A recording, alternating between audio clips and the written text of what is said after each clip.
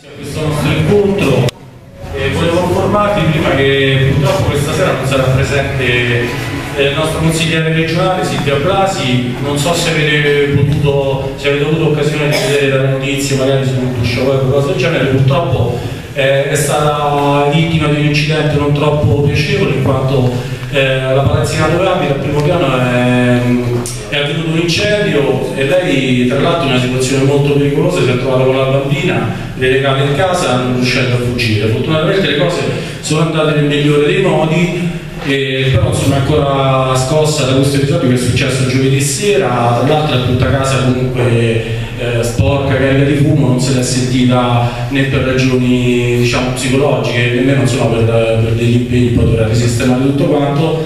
Eh, ci teneva molto a essere presente, ha detto che lo farà alla prossima occasione, magari anche andando a incontrare direttamente le associazioni, le cooperative e parlare, e parlare direttamente con loro. Filippo, tu vuoi fare questa introduzione per cortesia, così iniziamo.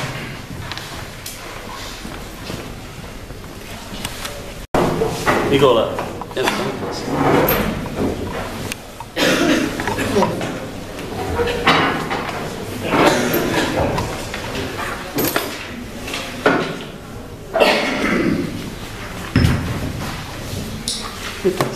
Buonasera, vorrei iniziare questo nostro incontro porgendo a tutti voi che siete intervenuti un cordiale benvenuto da parte del Movimento 5 Stelle di Canini, eh, che ha organizzato l'evento.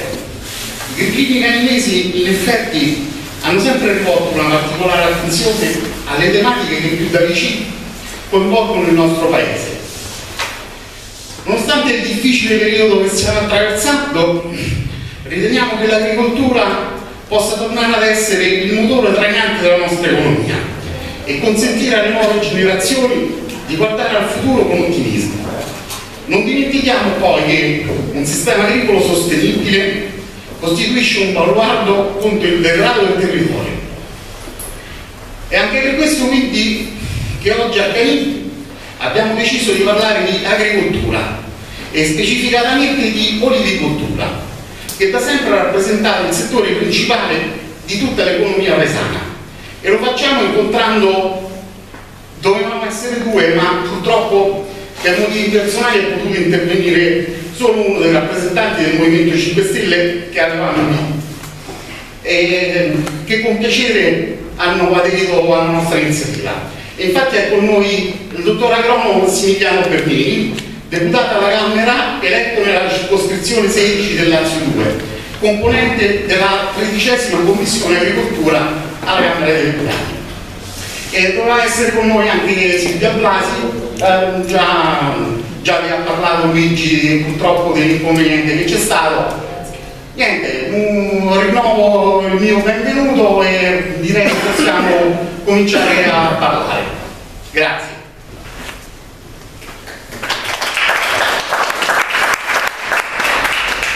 Sì, solitamente eh, all'inizio di una conferenza si fanno i ringraziamenti, si fanno i ringraziamenti agli ospiti, ai partecipanti, magari anche agli organizzatori. Noi la vediamo anche da un altro punto di vista, cioè eh, riteniamo che fondamentalmente fare quello che stiamo facendo tutti quanti, noi e voi, sia più che altro un dovere. Vorremmo richiamarci un po' il senso civico che purtroppo è stato lentamente abbandonato da questa nostra comunità e, e prendere le cose per quello che sono. Un politico, che cos'è un politico? È un rappresentante dei cittadini, viene eletto con i nostri voti, pertanto deve intervenire sul territorio, deve venire ad ascoltare quelle che sono le istanze presentate, le istanze, le problematiche presentate dalla, dalla cittadinanza e trasferirle nelle sedi più appropriate, che sono quelle legislative. Quindi un senso del dovere che deve eh, accompagnare chi decide di, di, rivestire un ruolo del genere, ma anche da parte di chi partecipa, cioè di voi che siete venuti qua questa sera, dovrebbe essere un dovere il, il presentare le problematiche che sono presenti sul territorio e richiedere che da parte delle istituzioni venga fatto qualcosa per risolverle. E infine per noi che, che siamo gli organizzatori che sostanzialmente eh, nel caso nostro ci siamo un po' stancati di questa situazione che ci è sfuggita di mano, che è degenerata e abbiamo deciso di farlo in prima persona, di attivarci per migliorare le cose. La strada da percorrere, eh, noi siamo convinti della, che stiamo percorrendo la strada giusta. Eh, Massimiliano qua presente eh, è una persona molto interessante, è stato presente per la sagra, è qua oggi, nel frattempo a gennaio è tornato a Canino, mm, una persona che si fa sentire come si fanno sentire tutti i nostri rappresentanti. Massimiliano è una persona che debutta dal proprio stipendio, anzi, eh, perché debuttare diciamo trattiene soltanto 5.000 euro lordi a fronte di Massimiliano 12.000, 13.000, anche 15.000 euro al mese. Queste sono le cifre che guadagnano i nostri parlamentari. Eh, qualcuno potrebbe pensare, beh, un po' fesso, no? Eh, è una sensazione che può dare, però noi siamo convinti che in realtà la strada dell'onestà, la strada della coerenza e della semplicità sia l'unica strada che possa portare lontano e riportarci ad essere un paese dignitoso. Iniziamo con i lavori, lascio la parola a Massimiliano che sicuramente più un essere sottoscritto. Grazie dell'intervento.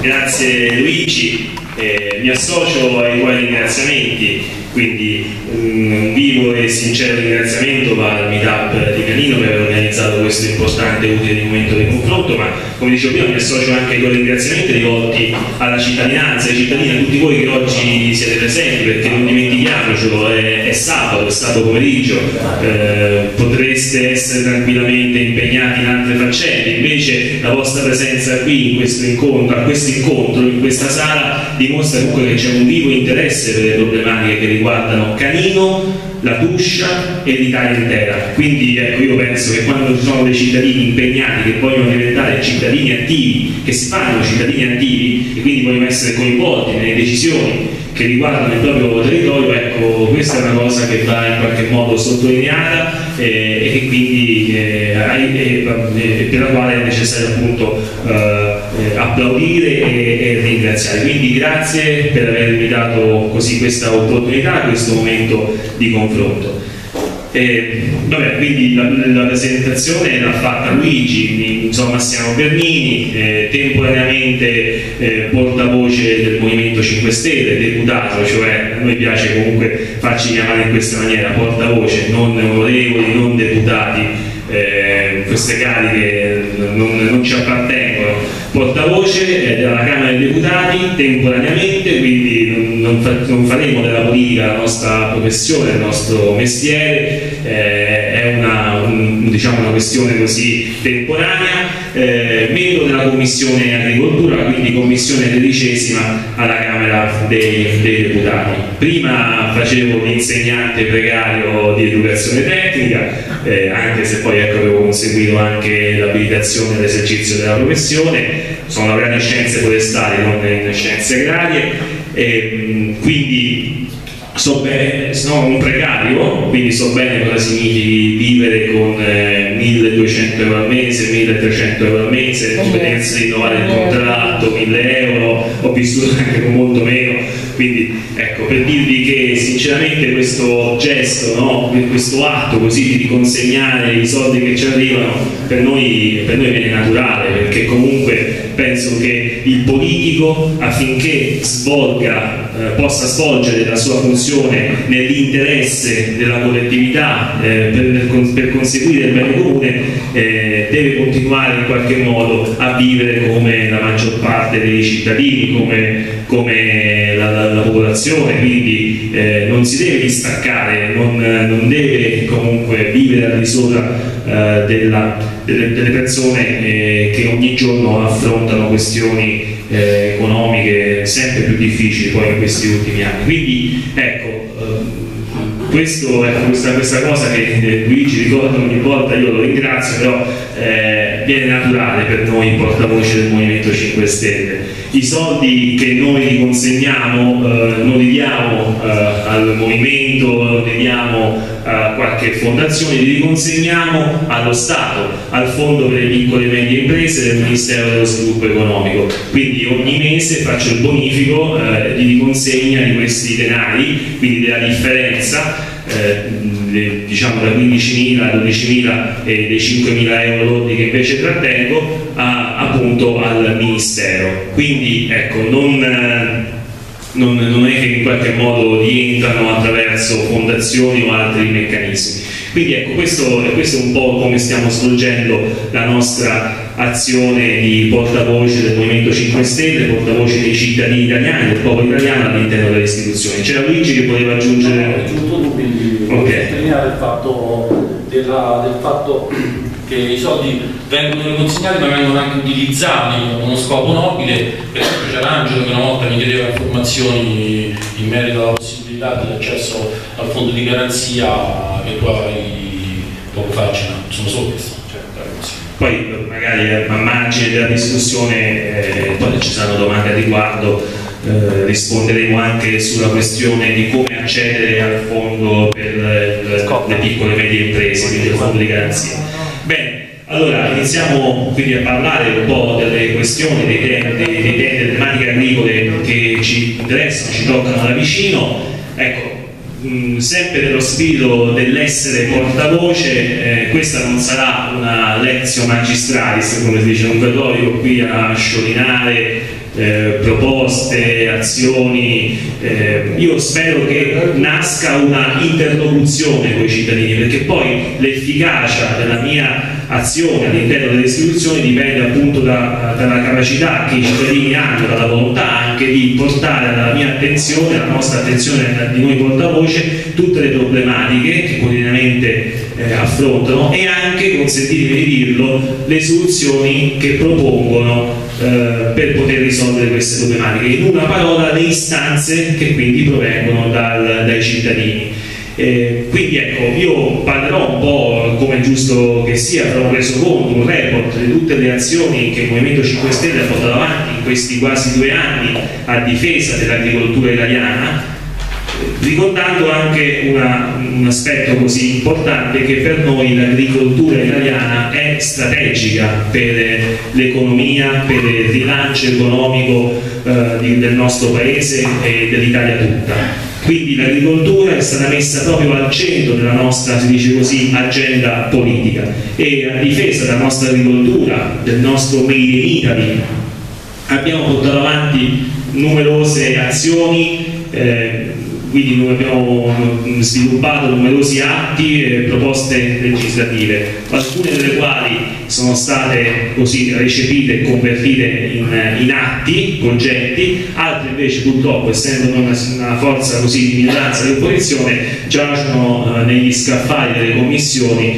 in attesa che vengano calendarizzate e anche la calendarizzazione purtroppo non, è, non dipende da noi, dipende dalle forze di maggioranza di governo eh, di questo paese che attualmente quindi guidano questo, questo paese. Eh, dunque, che volevo, ecco, quindi l'agricoltura, nodo centrale, eh, tema centrale dell'agenda politica del Movimento 5 Stelle.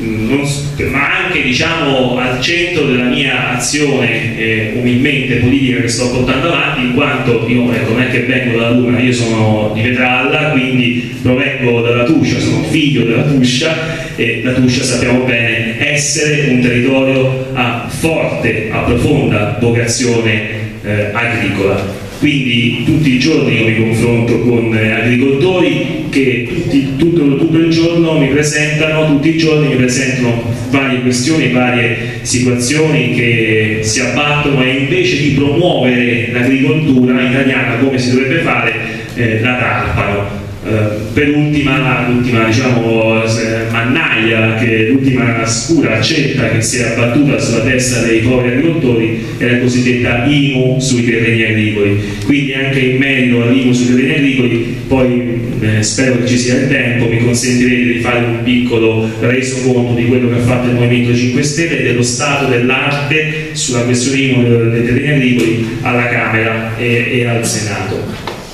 Eh, voglio ricordare infine che eh, noi siamo convinti come Movimento 5 Stelle che, come dicevo prima, anche che, eh, che l'agricoltura potrebbe rappresentare il volano per una sicura ripresa economica del nostro Paese lo dice Bernini, eh, lo dicono i portavoce Movimento 5 Stelle, lo dicono, lo dicono le statistiche, eh, e vi ricordo che il marchio Made in Italy è il secondo brand, il secondo marchio più famoso al mondo. Il primo è quello della Coca-Cola, il secondo quello del Made in Italy, quindi a dimostrazione del fatto che a livello così internazionale in Europa e nel mondo l'interesse, l'apprezzamento per i prodotti agricoli italiani è notevole, è importante e lo dimostrano anche il fatto che in continuazione cercano di imitare, fortunatamente ci riescono male, il Made in Italy agroalimentare con il cosiddetto fenomeno dell'Italian Sounding. Bene, allora fatte, fatte le premesse, eh, vabbè, comunque, benché ci troviamo in un momento di forte crisi economica, i dati macroeconomici che provengono dall'agricoltura, poi Luigi quando ci vogliamo, ne vuoi fermare eh, fammi un cenno, io adesso ehm, vorrei iniziare a parlare un po' di IMO agricola, dopo aver fatto questa... Poi certo, delucidazioni. Eh, con tutto che troviamo in una situazione così di, di, profonda crisi dove il PIL, i vari parametri macroeconomici crescono eh, a diretto, eh, il settore agroalimentare, il, o meglio il settore primario, l'agricoltura, è l'unico che in questi anni fa registrare dei segnali positivi. Lo ricordavo anche l'altra volta eh, durante l'incontro della Coldiretti eh, diciamo ecco, abbiamo negli ultimi mesi fissato un nuovo record per quanto riguarda le esportazioni raggiungendo quota 34,3 miliardi di euro. A, a, giustificare appunto quello che dicevo prima cioè del fatto di come il Made in Italy sia apprezzato nel resto del mondo. Il PIL del settore agricolo, del settore primario cresce negli ultimi mesi di un più 0,8 e il trend di crescita lo troviamo anche per quanto riguarda l'occupazione nel mondo dell'agricoltura. Poi sarete voi a confutare o meno i dati che io vi sto portando, eh? perché questi sono dati poi che ho estrapolato dal, dalle agenzie del Ministero del, del MIPAC, quindi il Ministero della Politica Agricola Alimentare e Forestali, stavo dicendo occupazione più 1,8% con un aumento del numero dei dipendenti più 5,6%, quindi l'agricoltura è un settore vivace. Ecco perché noi ci stiamo arrabbiando tanto sulla questione dell'IMO sui terreni agricoli, perché questo balzello, questa inutile tassa non ci voleva, rischia di soffocare questa vivacità, questi valori positivi eh, che l'agricoltura italiana riesce a dare anche in un momento di crisi. E, e, quindi arriviamo alla questione dell'IMO sui terreni agricoli. Sappiamo che chi se l'ha inventata l'IMO sui terreni agricoli? Se l'ha inventata Monti, poi però venne cancellata la letta nel 2013 e poi venne reinserita nella legge di stabilità del, del 2014. Il decreto legge 66 del 2014, che poi venne convertito in legge eh, nella legge numero 89 competitività, se ci sono domande, ripeto, eh, sentivo qualcuno che parlava, sono disponibile a fermarmi e ascoltare eventuali così, eh, domande, questioni che, che, vengano sollevate. E con questo decreto legislativo praticamente si cercava di individuare eh, delle, eh, diciamo delle aree così da, da esentare. E si impegnava il governo a emanare un successivo atto, che fu poi quello del 28 novembre 2014, che stabiliva i criteri altimetrici, quelli antecedenti agli attuali, cioè i 281 metri sul livello del mare, fino a, cioè, fino a 281 non vi erano le realtà eh, esentate, dai 281 a 600 metri erano esentati dal pagamento sull'IMO dei terreni agricoli soltanto gli IAP e i CT coltivatori diretti, poi da 600 metri in su, quindi nelle zone montane, l'esenzione era totale, quindi per tutti i proprietari e conduttori di terreni, di terreni agrari. Ecco, mh, mm, questi, questo passaggio così temporale, costituito da tutte queste tappe, tappe legislative, chiamiamole così, il Movimento 5 Stelle non è stato eh, con le mani in mano. Durante la legge di stabilità del 2014 abbiamo presentato numerosi emendamenti in seno alla legge di stabilità per chiedere l'esenzione eh, totale, cioè per, non, per, chiedere che venisse abbattuta, eliminata l'IMO sui terreni agricoli. Um, ovviamente nel silenzio totale degli organi di stampa questi emendamenti, questi nostri provvedimenti furono tutti quanti bocciati. Quindi già nel 2014, 2013, 2014 ci preoccupavamo e ci occupavamo di IMU sui terreni agricoli. Eh, va bene, poi eh, ci sono state appunto col DL 16 di dicembre la proroga quella del pagamento al 26 gennaio, poi l'ANCI e l'UNCEM fecero praticamente ricorso al TAR del Lazio, eh, tra l'altro stiamo aspettando ancora in qualche modo eh, diciamo, l'udienza pubblica. E l'ANCI capeggiata non dal Movimento 5 Stelle, lo ricordo, ma da Piero Fassino, quindi per dire che questa cosa non è che non, che, che non piace solo al Movimento 5 Stelle, ma c'è un'ampia, una folta platea di, di, forze politiche, ma anche di associazioni di categoria, il discorso ha partecipato a quella della Coldiretti, che vanno un po' nella direzione eh, voluta dal Movimento 5 Stelle, cioè di un abbattimento, di una abolizione di questa IMO eh, sui terreni agricoli. E arriviamo a non un mese fa o a dieci giorni fa, ma ieri, ieri in aula si è votata eh, la conversione del decreto legge mille proroghe ehm, dove il governo ha messo l'ennesima fiducia. Siamo a quota 32-34 fiducie, 32 dovrebbero essere. E noi subito abbiamo, come dice, colto la palla al balzo.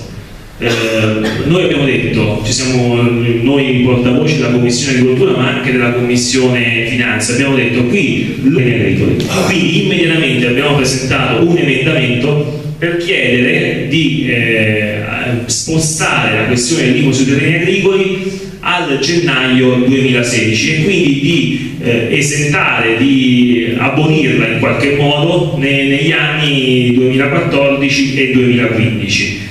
Eh, perché quindi noi siamo per l'abolizione, sia chiaro, però poiché è decreto legge, è definito appunto decreto legge mille proroghe, noi potevamo agire soltanto con azioni emendative eh, di natura eh, appunto che, che, andassero a prorogare qualcosa. E quindi noi abbiamo chiesto proprio questo. Nell'attesa qual era la giustificazione appunto di questo emendamento di proroga? Nell'attesa che in qualche modo eh, il governo rivedesse un po' tutta la questione della fiscalità rurale perché a nostro avviso eh, tutti i provvedimenti per ultimo quello che sull'IMO sui terreni agricoli sono stati fatti e le varie tappe che ho così ripercorso lo dimostra in maniera assolutamente frettolosa. I parametri, quelli altimedici, prima 280-600 metri, poi gli ultimi che sono stati così imposti dal decreto 24 gennaio numero 4 e che si rifanno alla cosiddetta montagna legale stabilita dall'Istat nel 1952, non sono assolutamente congrui. Cioè, eh, diciamo, rappresentano dei grossi eh, elementi di iniquità, di ingiustizia sociale. Poi dopo eh, ci arriverò e farò un elenco delle ragioni che a nostro avviso eh, rendono questa norma, questo decreto, diciamo, questa IMU sui terreni agricoli eh, ingiusta, eh, anche incostituzionale a nostro avviso, sono diversi e quindi li andrò ad enumerare. Quindi ecco, ovviamente come andrà a finire questo emendamento? L'abbiamo depositato, tra l'altro non ci siamo neanche chiusi noi stessi, abbiamo inviato una lettera a tutte le associazioni di categoria italiane, quindi dalla Coldiretti, Copagri, eh, Confagricoltura, eccetera, per chiedere questo, sostenete l'emendamento del Movimento 5 Stelle, eh, l'abbiamo inviato anche a tutte le forze politiche perché poi non, non ci interessa fare battaglie delle bandierine eh, perché anzi io ho detto subito quel giorno della Coldiretti che se il Partito Democratico avesse presentato un emendamento per abolire e abbattere l'IMU sui terreni agricoli non solo l'avremmo votato ma l'avremmo anche sottoscritto tutti quanti. Quindi che se ne dice no, che il Movimento 5 Stelle eh, è una forza settaria che non è aperta al confronto politico con le altre forze. In realtà questo non è vero perché da questo punto di vista ci siamo sempre eh, espressi in maniera molto chiara e molto disponibile. In realtà lo siamo, lo siamo Massimiliano. Io niente, inviterei a fare delle domande se ci fossero da parte vostra.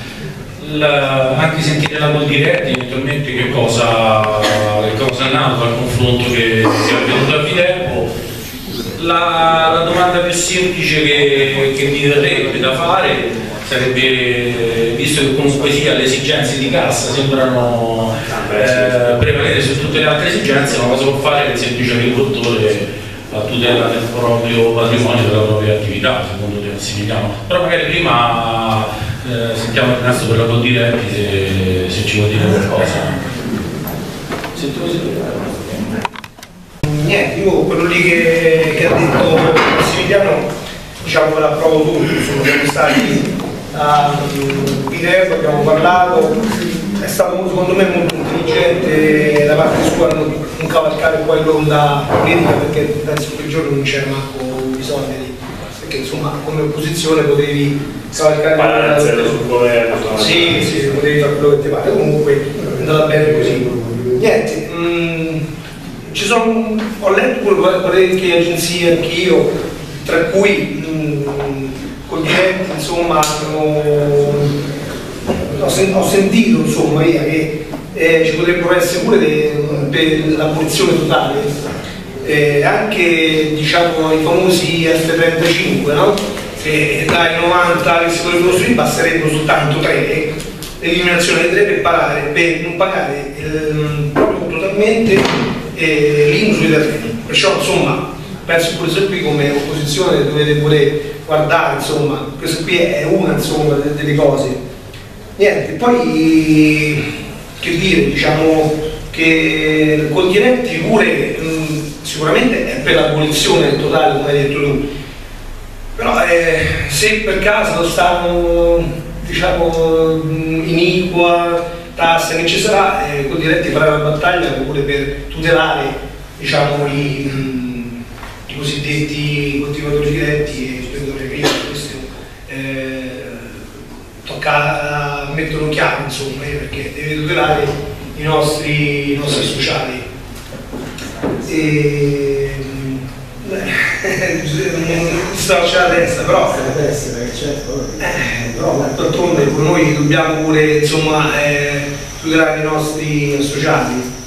E, come dicevi prima tu, dal, è vero che eh, c'è l'8,08% dell'incremento del, del PIL, però a gennaio c'è stato dell'1,2% in meno.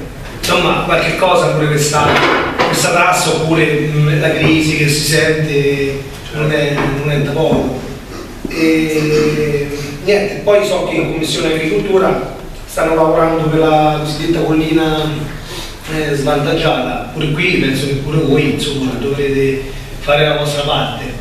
Poi sì, mh, mano a mano che discorrendo ci siamo qualche altra cosa, ma solo di, cioè, di dire la mia, insomma, adesso penso che hai detto sì, sì, sì, no, siamo, siamo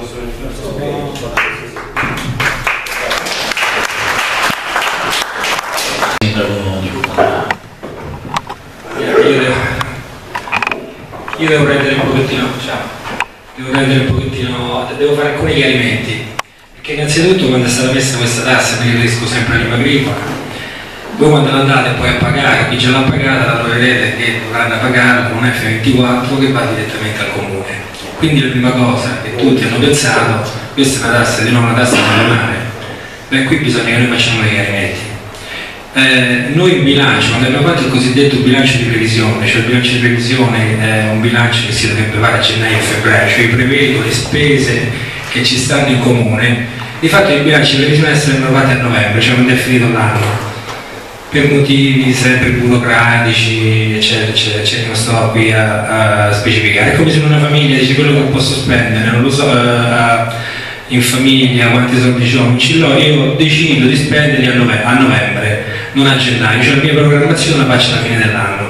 Quando noi abbiamo fatto il suo bilancio di previsione, di fatto in agricola non c'era, perché da noi l'IMA agricola non si pagava, si pagava soltanto nella provincia di Viterbo in due comuni, che era il comune di Tarquinia e il comune di Montalto.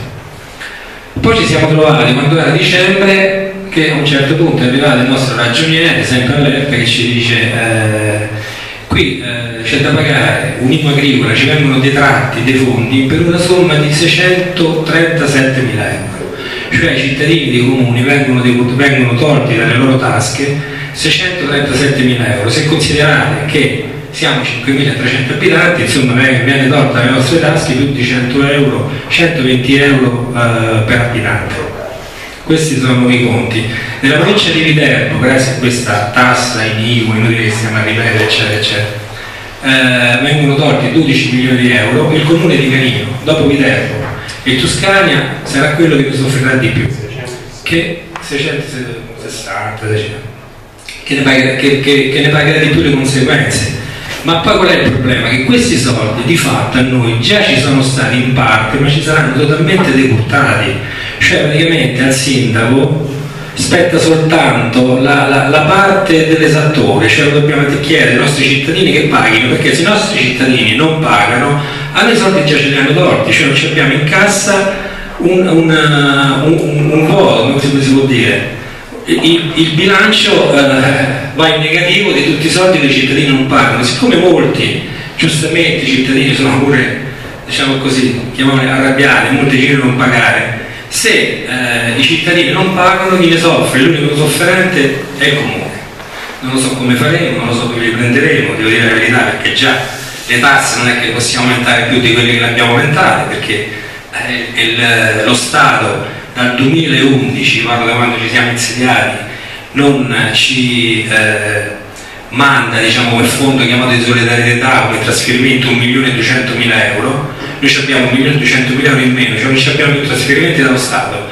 Tutto quello che noi incassiamo lo dobbiamo incassare tramite istanze ai cittadini, per questo che c'è stato tutto questo aumento dell'IMU sulla prima casa, sulla seconda casa, eh, eccetera, eccetera. Poi dopo che lo Stato dica che non sono state aumentate le tasse, è un altro conto, forse non avranno aumentato a livello centrale, ma a livello comunale a noi praticamente, come posso dire, ci hanno, ci hanno distrutto. Arriva da nessuna parte, cioè l'esaurimento merce o meglio l'esaurimento portafoglio. Sì, cioè, io non è che sto dicendo che dobbiamo essere andati nelle tasche, eh. capisco pure il problema, c'è tanta gente che dice non pago perché non c'è soldi per pagare. Vabbè, non è che posso andare lì, eh. però se non arrivano i soldi sappiate che lo Stato già se li è presi, cioè non ci stanno nelle casse comunali e non sappiamo, molti ci dicono pure, allora diminuite quando ci sarà il finora non si poteva fare, quando ci sarà il prossimo bilancio diminuite la regola dell'IMU, perché adesso l'aliquota base è del 7,6%. Si vedrà quando ci sarà il prossimo bilancio se possiamo diminuire l'aliquota dell'IMU, ma se diminuiamo l'aliquota dell'IMU all'agricoltore la mettiamo a che? A quale? Bisogna essere chiari. La mettiamo a che cosa? La seconda casa al massimo. La mettiamo sulla prima casa? Già è bella tassare anche la prima casa, su che cosa la aumentiamo? Non abbiamo più possibilità di aumentare tasse, cioè purtroppo il mancato trasferimento ci ha, ci ha obbligato, ci ha obbligato eh, a mettere quasi da tutte le parti la lingua che erano massima, insomma. Questo è il discorso, è il discorso reale. Noi ci era stato chiesto da parte dell'associazione di categoria che non fossero pagate multe per eventualità eccetera eccetera, abbiamo deliberato, abbiamo deliberato che non ci saranno sanzioni fino al 25 di marzo, che è la data in cui il decreto legge deve essere convertito in legge mi diceva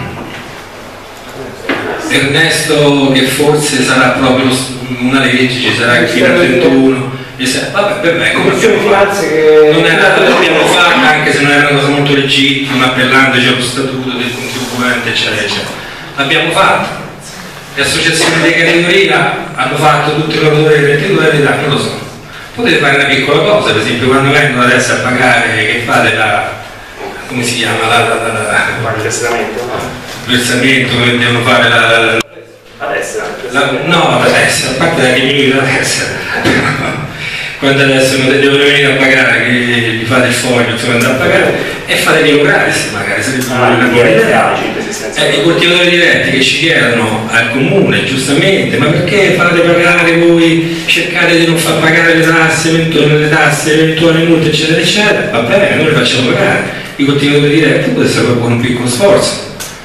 Poi che sicuramente i coltivatori diretti, con tutte le associazioni di categoria, porteranno avanti il discorso dei loro destinati, sono perfettamente d'accordo, cioè eh, ognuno porta avanti la sua bandiera, però non è che gli altri che hanno un po' di terra, due ettari, tre ettari, quattro ettari, poi traggono un grosso guadagno, perché quando vanno a pagare un IMU, sì, quando vanno a pagare sicuramente un oh, io so che la cancellazione ho detto su un terreno. La punizione dell'aria quando uno paga, su un terreno l'IMU eh, su un terreno irriguo eh, quando va a pagare 150-200 euro all'ettaro che poi qui sono tanti terreni agricoli sappiamo irrigui perché c'è il fatto del maghetto che c'è la pompa eccetera eccetera. Poi voglio dire alla fine eh, su un bene strumentale va a pagare eh, una tassa che gli dà tutto il reddito non è che c'hanno problemi banco e altre cose. Era, tanti sostengono magari, aiutano il loro sostentamento con uh, qualche cosa che rende proprio del requiem. Oltretutto l'ultima cosa che dico, non sappiamo pure questi soldi effettivamente come sono stati fatti i calcoli, non sappiamo, noi abbiamo dei terreni espropriati, espropriati quando c'è stato uh, il timone che ha esondato il timone, che l'esproprio non è stato pagato dalla regione, però è andato a pagare l'IMU. Quindi non si sa neanche come vengono calcolati, non si sa quanto possiamo prendere. Noi abbiamo il sovranio militare ordine di Malta che ha 4.500 metri di terreno, l'azienda, l'azienda. Sì, però il sovranio militare è praticamente netto sovrano, non paga l'IMU. Però non sappiamo come, se effettivamente è stato fatto questo calcolo, può darsi pure che queste eh, può darsi pure che sono state torti. Eh, eh, certo, perché il sovrano eh, ordine di Malta non paga l'IMU sicuramente sulle case, questo lo so per sicuro, ma non lo pagherà neanche per i terreni, ma ce l'avranno calcolati a noi, perché se ce l'hanno calcolati ce li tolgono e poi dobbiamo andare a cercare se la ordine di Malta, insomma non è facile. Non so se adesso devono rispondere, nel frattempo io invito comunque tutti quanti, Angelo anche Pompeo, visto che è arrivato, ci farebbe piacere anche se presentaste voi delle, delle istanze. E dovevi rispondere Massimiliano, Massimiliano che, qual è il tuo pensiero sulla nascita di comitati autonomi eh, di più di 200, mi sembra intorno a 200 agricoltori che dice oh, che è successo a Città Castellana che eh, diciamo, hanno messo in piedi azioni a contrasto a contrastare il libero, ossia loro si sono rifiutati. Quindi quale può essere un, un, un tuo pensiero su questa cosa e quale, e quale magari eh, potrebbero essere le future sviluppi di questa cosa? Una domanda difficile o, o, forse anche semplice così da rispondere. No, significa semplicemente che il malessere generale, generalizzato eh, sulla questione appunto della, di questa imposizione, di questo balzello eh, è assolutamente dilagante e, e, dimostra questo in qualche modo eh, che eh, forse, non lo so, eh, questo non devo essere io a dirlo, in qualche modo molti agricoltori eh, non si sentono più rappresentati dalle, da, da, alcune associazioni di categoria e sindacali. Io devo dire questo eh, per onestà, che dal lunedì scorso quando ci siamo incontrati con la Condiretti ho accolto il loro invito a partecipare a quell'incontro, dalla Condiretti sono uscite parole chiare, loro parlavano di abbattimento, io parlavo di, di abolizione. Penso che sia la stessa cosa, anzi sono convinto che sia la stessa cosa, quindi ecco da quel punto di vista ehm, c'è un'assoluta una eh, condivisione. Forse magari non saranno delusi della Condiretta, ma delusi forse da altre associazioni di categoria, comunque dimostra che in qualche modo eh, nel, nel, diciamo, non si ha più fiducia in quelli che dovrebbero essere gli interlocutori naturali nei confronti delle istituzioni e che sono le associazioni e tutto il mondo dell'associativismo. Questo può essere un segnale eh, positivo eh, oppure un segnale negativo perché in qualche modo non si crede più eh, nelle realtà così eh, precostituite, comunque sia eh, è un segnale di allarme perché c'è un grande malessere sociale e lo abbiamo avvertito, lo abbiamo toccato con mano nel, corso dei vari incontri che abbiamo fatto nell'ultimo municipio di Viterbo cioè consentitemi di usare una parolaccia, gli agricoltori sono veramente incazzati su questa questione dell'IMU sui terreni agricoli. È ovvio che eh, io, come dicevo l'altra volta, eh, è giusto fare le manifestazioni, eh, è giusto protestare sempre però nell'alveo del, rispetto delle regole democratiche e, e delle regole generali. Però ecco, altri sono gli strumenti che la democrazia ci dà in, ci mette in mano per poter esprimere il nostro disagio, il nostro disappunto nei confronti delle scelte che vengono dall'alto, che vengono dal governo e dalle forze di maggioranza. Eh, qual è l'arma democratica più grande e più forte che abbiamo? È il voto. Quindi in che modo possiamo esprimere la nostra contrarietà? Quindi va bene protestare, va bene eh, scendere in piazza, però eh, quando poi è il momento pratico in cui il cittadino fa valere il suo potere, la sua sovranità, cerchiamo ecco, di non dimenticarci di non, di non mandare sprecato la cosa. Non sto dicendo che tocca votare il Movimento 5 Stelle, ci mancherebbe altro, lo sanno bene eh, che noi non facciamo marchette politiche, però ecco, c'è da dire questo. No, è un segnale comunque allarmante, significa che i cittadini, e noi Movimento 5 Stelle sono anni lo diciamo, non si sentono più rappresentati, cioè il governo fa scelte contro il popolo, contro i cittadini, eh, contro gli agricoltori, contro i lavoratori. Quindi questo è un segnale allarmante, a mio avviso un governo saggio, una maggioranza saggia dovrebbe ehm, eh, percepire questo, questo malessere. Invece mi pare, anche con gli ultimi fatti del mille proroghe, che questa sordità continui ad esserci siamo un popolo che ci butta sempre il cappello, speriamo che anche in questo caso riusciremo a fare una cosa. Angelo voleva dire qualcosa, se vuoi venire Angelo. No, no, è, è solo okay. un'informazione. Non so se Bene. ho sentito dire o forse è una cazzata, ma è come viene misurata l'altitudine di un paese? Dalla sede comunale? Che qualcuno dice che ha spostato la sede comunale? È vero, per non pagare fuori, fuori parametro? No, si potrebbe saltare l'attività. No, Adesso posso rispondere? Sì, sì, eh, sì poi dopo dico un'altra cosa. domanda. No, allora, il decreto legge 24 gennaio 2015 numero 4 stabilisce eh, praticamente mh, mm, dei, dei nuovi parametri che non sono i vecchi parametri altimetrici ma sono i cosiddetti parametri della montagna legale dell'Istat eh, stabilito per legge nel 1952 si va su internet, io ce li ho qui con me questi file, sono dei file Excel perché è un po' pratico così di informatica e c'è l'elenco di tutti i comuni. I comuni vengono ripartiti in comuni T, comuni montani, eh, comuni PM parzialmente montani e poi abbiamo i comuni NM non montani. Per esempio Canino è un comune non montano, Vedralla, io sono di Vedralla, è un comune parzialmente montano. Allora, consentitemi di, di, di, proprio di farvi toccare con mano l'iniquità. Allora, come diceva giustamente il vice sindaco, poi ho avuto modo anche di confrontarmi col sindaco, Canino deve riscuotere di IMO sui terreni agricoli 664 mila euro, c'è un prospetto sempre del Ministero.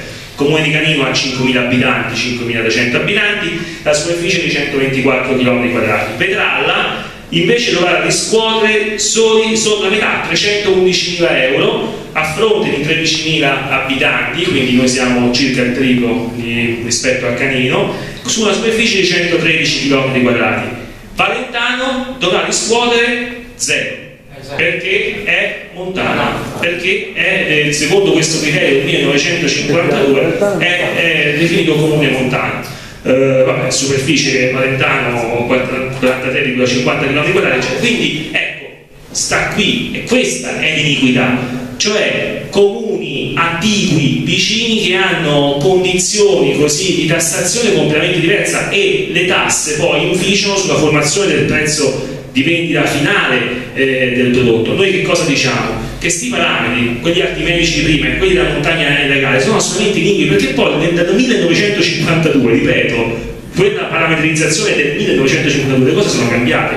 In provincia di Viterbo, adesso non vorrei offendere nessuno, non è vero che le, i comuni montani o quelli alto collinari di poca parola sono dal punto di vista agricolo i più svantaggiati e i più poveri. Eh, eh, perché sappiamo bene le coltivazioni che hanno. Hanno le nocciole, hanno il castagno anche se ha subito delle, delle perdite di produzione.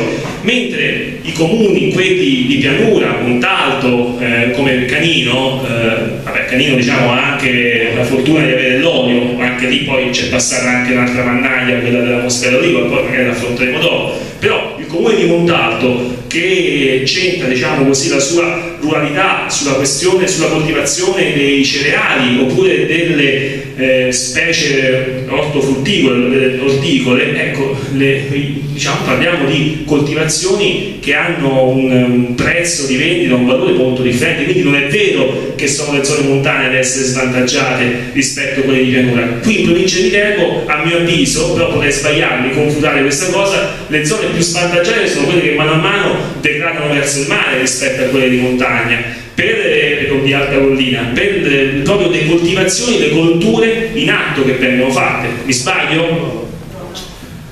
Non so se, se ho interpretato bene la domanda di Angelo, però forse hai escluso una parte della risposta che era probabilmente qual è il, il, il concetto secondo il quale viene definito un comune, in, viene integrato in una categoria piuttosto che in un'altra. Sinceramente non lo so perché è una legge del 1952 che faceva questo riparto dei comuni, però i criteri che ci stanno dentro non, lo so, io penso che nel 1952 effettivamente le zone montane erano quelle più svantaggiate eh, e quelle invece di pianura erano più eh, diciamo avvantaggiate, favorite. Sicuramente negli anni 52 eh, a Tarquinia col grano esatto. ovviamente montana sicuramente sono cambiate quelle terre mi sembra che tra quelle esenti c'è pure il Brunello Montalcino 60 anni. Oh infatti no. E lì era quella dopo le facciamo le vite figuriamoci esatto eh, i comuni ricadenti un po' nell'area del Brunello di Montalcino sono o esentati totalmente o parzialmente esentati quindi eh,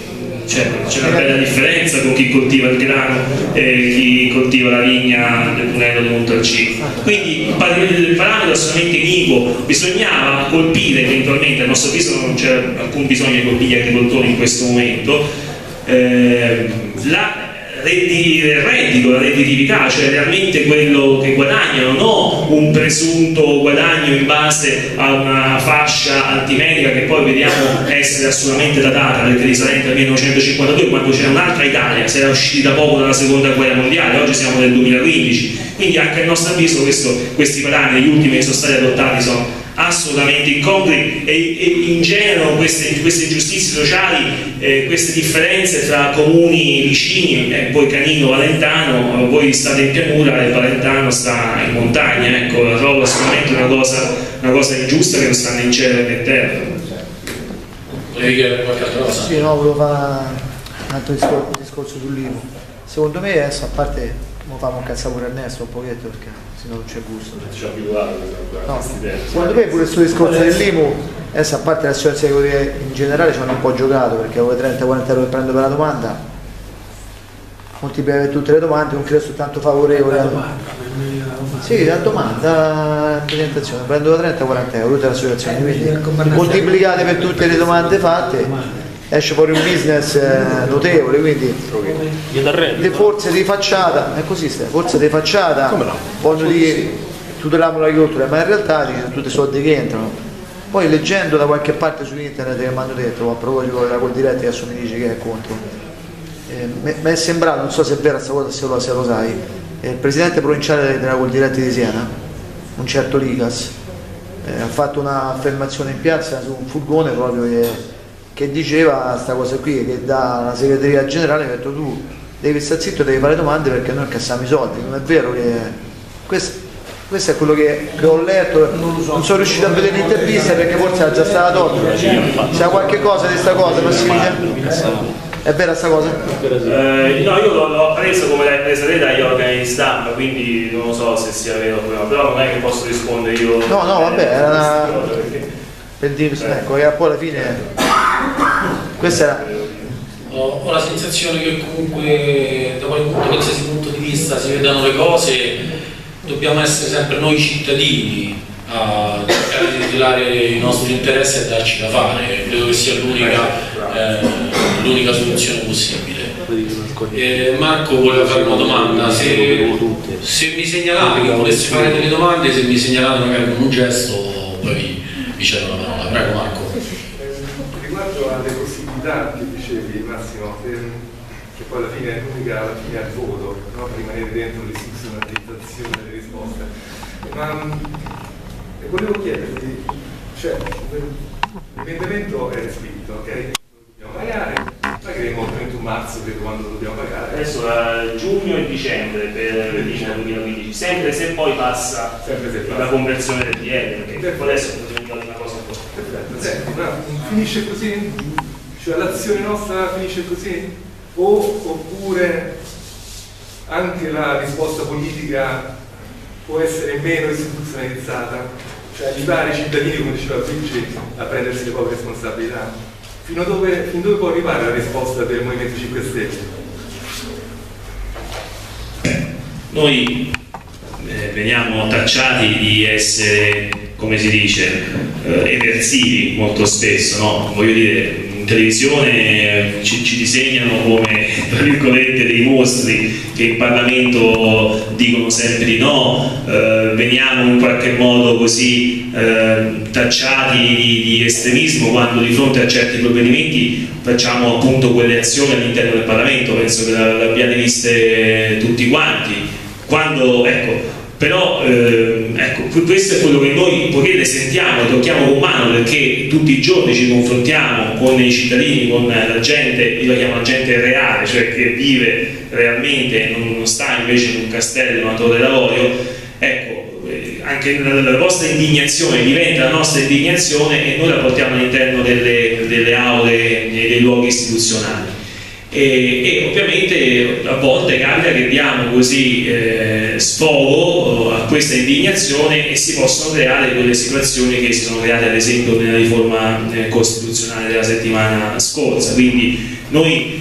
noi ci facciamo sentire, facciamo ostruzionismo, l'abbiamo fatto anche adesso con il proroghe, ostruzionismo significa che ognuno di noi presenta un emendamento, lo discute per 5 minuti, per 10 minuti, quindi blocca l'aula, però questa cosa invece di essere percepita come una continuazione dell'indignazione che hanno i cittadini, perché io mi sento cittadino, non mi sento politico, eh, invece viene disegnata dagli organi di stampa come una forma di irriverenza, di scortesia istituzionale fatta da questi crezzoni, consentiti per termine del Movimento 5 Stelle. Quindi ecco, c'è da, da, da, farvi capire questa cosa, che perché noi ci arrabbiamo all'interno delle istituzioni? Perché in una situazione ingessata, eh, glaciale, dove il bon vale più poi del rispetto per la vita delle persone, dei cittadini eh, italiani, ecco, eh, noi in quella situazione così congelata noi ci indigniamo come fareste voi, perché voi fareste esattamente le stesse identiche cose,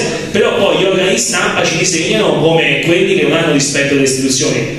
Però vi, vi, posso assicurare che io ieri, quando ho visto così respinto l'emendamento, non c'è stata una bocciatura reale, perché comunque ha messo la fiducia, quindi autonomamente è decaduto. Cioè io ho avuto un'indignazione perché ero reduce dall'incontro da Gol Diretta che erano tutti gli agricoltori incavolati, ecco, usiamo questo termine eh, con gli agricoltori di Petralla con i quali tutti i giorni mi confronto e io sinceramente un po' di rabbia e la voglia di alzarmi in piedi e dire qualcosa ce l'ho avuta.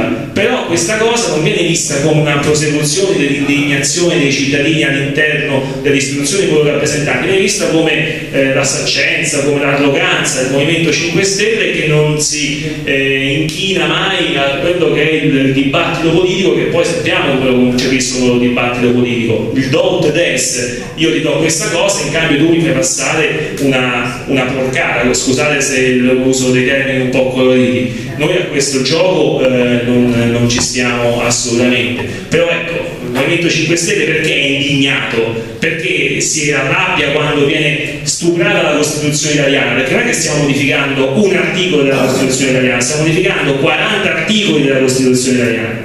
Se l'avesse fatto a suo tempo qualsiasi altro governo di centrodestra ci sarebbero state eh, delle sollevazioni veramente popolari. Invece tutto sta avvenendo nell'assoluto silenzio perché sappiamo bene come gli organi di stampa da chi sono controllati da chi sono gestiti da quale forze politiche. Quindi ecco quando ci vedete in Parlamento arrabbiati, indignati anche se poi ripeto il Movimento 5 Stelle lo confermate voi è un movimento pacifico e non violento.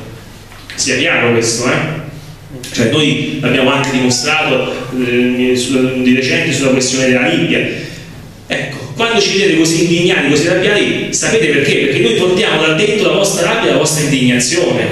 Perché noi, come voi, tutti i giorni ci dobbiamo confrontare con, con eh, lo stipendio miso. Adesso in questo momento io no, perché come dicevo prima prendo 5.000 euro lordi, però io sono circondato da persone non è che vivo lontano dalla realtà eh, con persone che tutti i giorni dicono siamo noi con 1200 euro non ce la facciamo io agricoltore che prendo 500 euro di pensione ex eh, coltivatore diretto non riesco a pagare l'IMU io tutti i giorni mi confronto con agricoltori che mi dicono mi arrivano gli aiuti della PAC gli aiuti diretti mi arrivano 300 euro all'ettaro di aiuti diretti e io devo utilizzare questi aiuti per pagarci l'IMU, cioè questa è l'assurdità. Gli aiuti diretti da PAC devono essere destinati a ben altri scopi, per cercare di omogeneizzare la questione agricola a livello europeo, per non creare disparità fra gli agricoltori italiani e gli agricoltori francesi, invece in Italia arrivano gli aiuti diretti implicitamente li tassiamo con eh, l'IMU sui terreni agricoli. Ecco. Quindi quando ci vedete arrabbiati in Parlamento non è che lo facciamo per fare lo spettacolo perché non riusciamo a contenerci, è perché la vostra indignazione, che è quella che io in questo momento, la portiamo all'interno delle istituzioni. Grazie.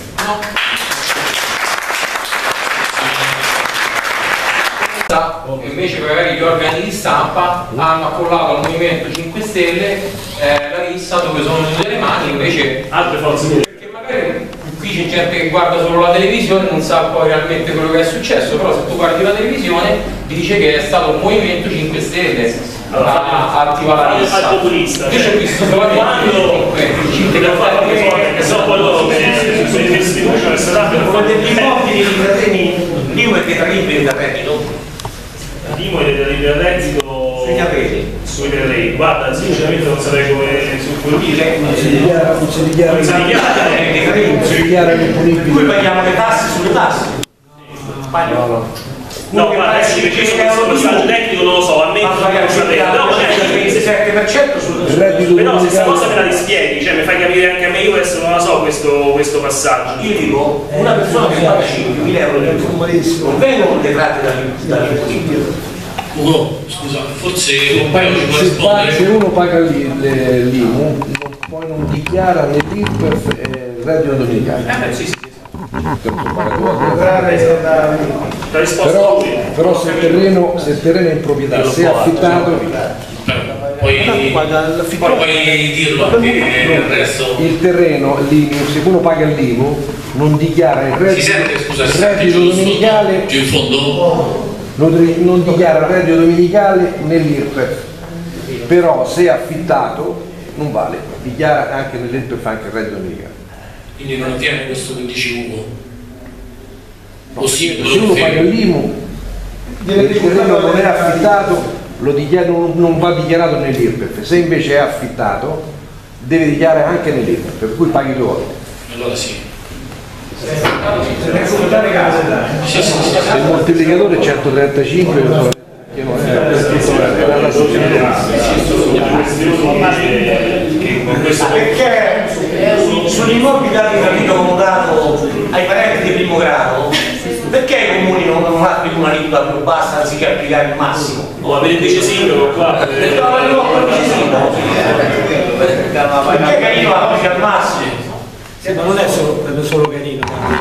Eh, ma ho capito, perché, perché un genitore è costretto a, a, a segnare la casa al figlio? Eh, magari il figlio è poco, è poco eh?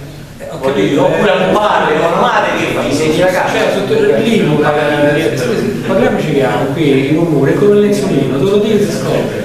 Non è che uno c'ha piacere che il figlio paga, che la casa che La legge dello il Stato c'è. C'è, no, Fa c'è una contare legge, i ma, comuni no, a ma non, è, non, è, non è obbligatorio, stanno mille le leggi sono state, io posso applicare un'aliquota che è più alta, un'aliquota che è più bassa, Sì, ma no. alla fine devo far quadrare tu- alla fine devo far quadrare un conto, devo far quadrare un conto, paro paro. Allora posso pure di, i figli, tu gli segni la casa al figlio e al figlio ne faccio pagare l'IMU. Va bene, significa che quei soldi che tu risparmi del tuo figlio, io da qualche parte dalla quale carta, ma la devo prendere. Non c'è verso, dove la prendo? Punto interrogativo, se, se sapete dare dei consigli, noi siamo sempre aperti alla situazione. Sai, comuni sono come lo Stato, non si diminuisce la spesa pubblica, si aumentano le tasse. No, diminuisce Non aumentano le tasse, io io credo che la spesa pubblica, non lo so, meno di È la stessa cosa. diminuito a canino, non lo so, si può anche diminuire, possiamo togliere la mensa ai ragazzini, il pulmino, possiamo togliere mille cose. È tutto un quadro che deve lo possiamo fare. Allora, togliamo l'IMO ai figli, ai quelli che hanno la seconda casa, va bene. Vorrei dire che i soldi dell'IMO che non ci abbiamo lì, toglieremo una mensa ai ragazzini, è una scelta, è una scelta. Poi la- Noi abbiamo fatto questa, può essere sbagliato o indovinato. Non lo so, è una scelta. Solo questo. Poi quando c'è il bilancio, mi piacerebbe che partecipaste, perché tanti scrivono, io vedo, senza cattiveria, però poi bisognerebbe partecipare. E noi sempre, non ci siamo mai messi da una parte, magari veniste a partecipare, magari chiedeste, che forse tante idee si chiarirebbero. Purtroppo, purtroppo c'è tanta partecipazione su internet, su Facebook, su questi social, c'è meno partecipazione dal punto di vista reale, attivo. Ma noi siamo qui, quando vi pare, io siamo No, non cosa anche quello che ha detto Giuseppe perché mi sembra un po' lì anche quello, eh, con quello che sostenevamo all'inizio, insomma ci deve essere un po' più di partecipazione civica da parte di tutti, cioè, questo caso da parte dei cittadini. Io anch'io vorrei umilmente, non ne ha bisogno, il sindaco ha spiegato bene la questione, spezzare una lancia nei confronti degli amministratori locali, perché loro, non so se è chiaro, sono stati lasciati da soli a riscuotere questo bazzello, cioè stanno facendo il lavoro sporco per conto del governo perché eh, i soldi che loro dovrebbero in qualche modo eh, raccogliere con, eh, con l'IMU sui beni agricoli gli, gli vengono de decurtati dallo Stato centrale, cioè non gli arriva l'equivalente di quanto dovrebbero raccogliere con l'IMU agricolo, quindi l'IMU sui beni agricoli dallo Stato centrale, quindi loro devono fare, stanno facendo gli esattori per conto del governo. Io questa cosa la do assolutamente ingiusta, assolutamente eh, diciamo anche eh, come si può dire, anche molto, molto bassa come, come, come, azione morale ed è per questo che l'ANCI e molte associazioni hanno eh, sporto poi l'esposto eh, al TAR del Lazio. Quindi ecco, c'è una, diciamo, una, a livello non solo degli amministratori locali, non solo degli, agricoltori, ma anche eh, proprio da, da, sacche importanti della società civile contro, questa, contro questi usi gli Però ripeto, gli amministratori locali sono stati lasciati da soli a riscuotere, a fare questo lavoro sporco e poi gli amministratori locali sono quelli che si devono confrontare tutti i giorni con i cittadini perché poi eh, Renzi magari non lo vedete mai eh, difficilmente nella vostra vita avrete l'opportunità così di parlarci. Con il vice sindaco e col sindaco tutti i giorni eh, avete la possibilità così di, di interloquire. Eh, vedo che si parla molto di questa è una cosa che va un pochino oltre questo discorso. E io sono prettamente contro il consumo di suolo agricolo e naturale Faccio parte di un comitato nazionale, eh, sono presidente contro fotovoltaico ed eolico, era nato nelle aree verdi e naturali. Noi siamo a favore delle energie rinnovabili, però sempre su territori diciamo, già cementificati dove eh, non viene tolto il ehm, diciamo, terreni all'agricoltura. Vuoi, vuoi venire un microfono perché il piano perduto da, dalla parte in fondo non si sente. Si sente giù in fondo? Diciamo dei territori, dei territori naturali ecosostenibili eh, non si sente. Ecco, proprio perché credo che sia il futuro diciamo, per la salvezza di un'Italia in crisi dove tutti i settori sono fermi, l'edilizia lei mi può confermare è ferma, i giovani eh, sono senza lavoro. E avevo visto addirittura che invece adesso eh, molti giovani trovavano nell'agricoltura proprio un nuovo sbocco, diciamo. Questa è una mazzata enorme perché viene a colpire proprio uno dei settori primari. E quindi io penso che bisogna intervenire soprattutto, eh, so, a parte il discorso del vino che non, non accettiamo assolutamente nessuno, proprio sul consumo di suolo agricolo. Il territorio agricolo deve rimanere agricolo perché è stato sfruttato in tutti i sensi cominciare dalle rinnovabili, che io per esempio in questo comitato di 11.200, quasi 300 iscritti, ci sono moltissimi del Movimento 5 Stelle, senatori, eh, deputati con cui abbiamo continuamente ci interfacciamo e sono tutti contrari, sono tutti a favore del nostro comitato che vuole gestire le energie rinnovabili in un, in un modo diciamo, non impattante sui territori, sui paesaggi, e sull'agricoltura soprattutto perché vengono tolti ettari e ettari terreni agricoli, mentre invece in Olanda per esempio ci sono piste ciclabili con eh, pannelli fotovoltaici, eh, sulle autostrade, ci sono mille, mille altre soluzioni eh, anche più innovative che invece non vogliono applicare perché c'è, sempre il discorso speculativo, gli amministratori Purtroppo a volte, io non credo sia il caso di Danino, ma sono stati consenzienti in questo senso ad approvare questi progetti.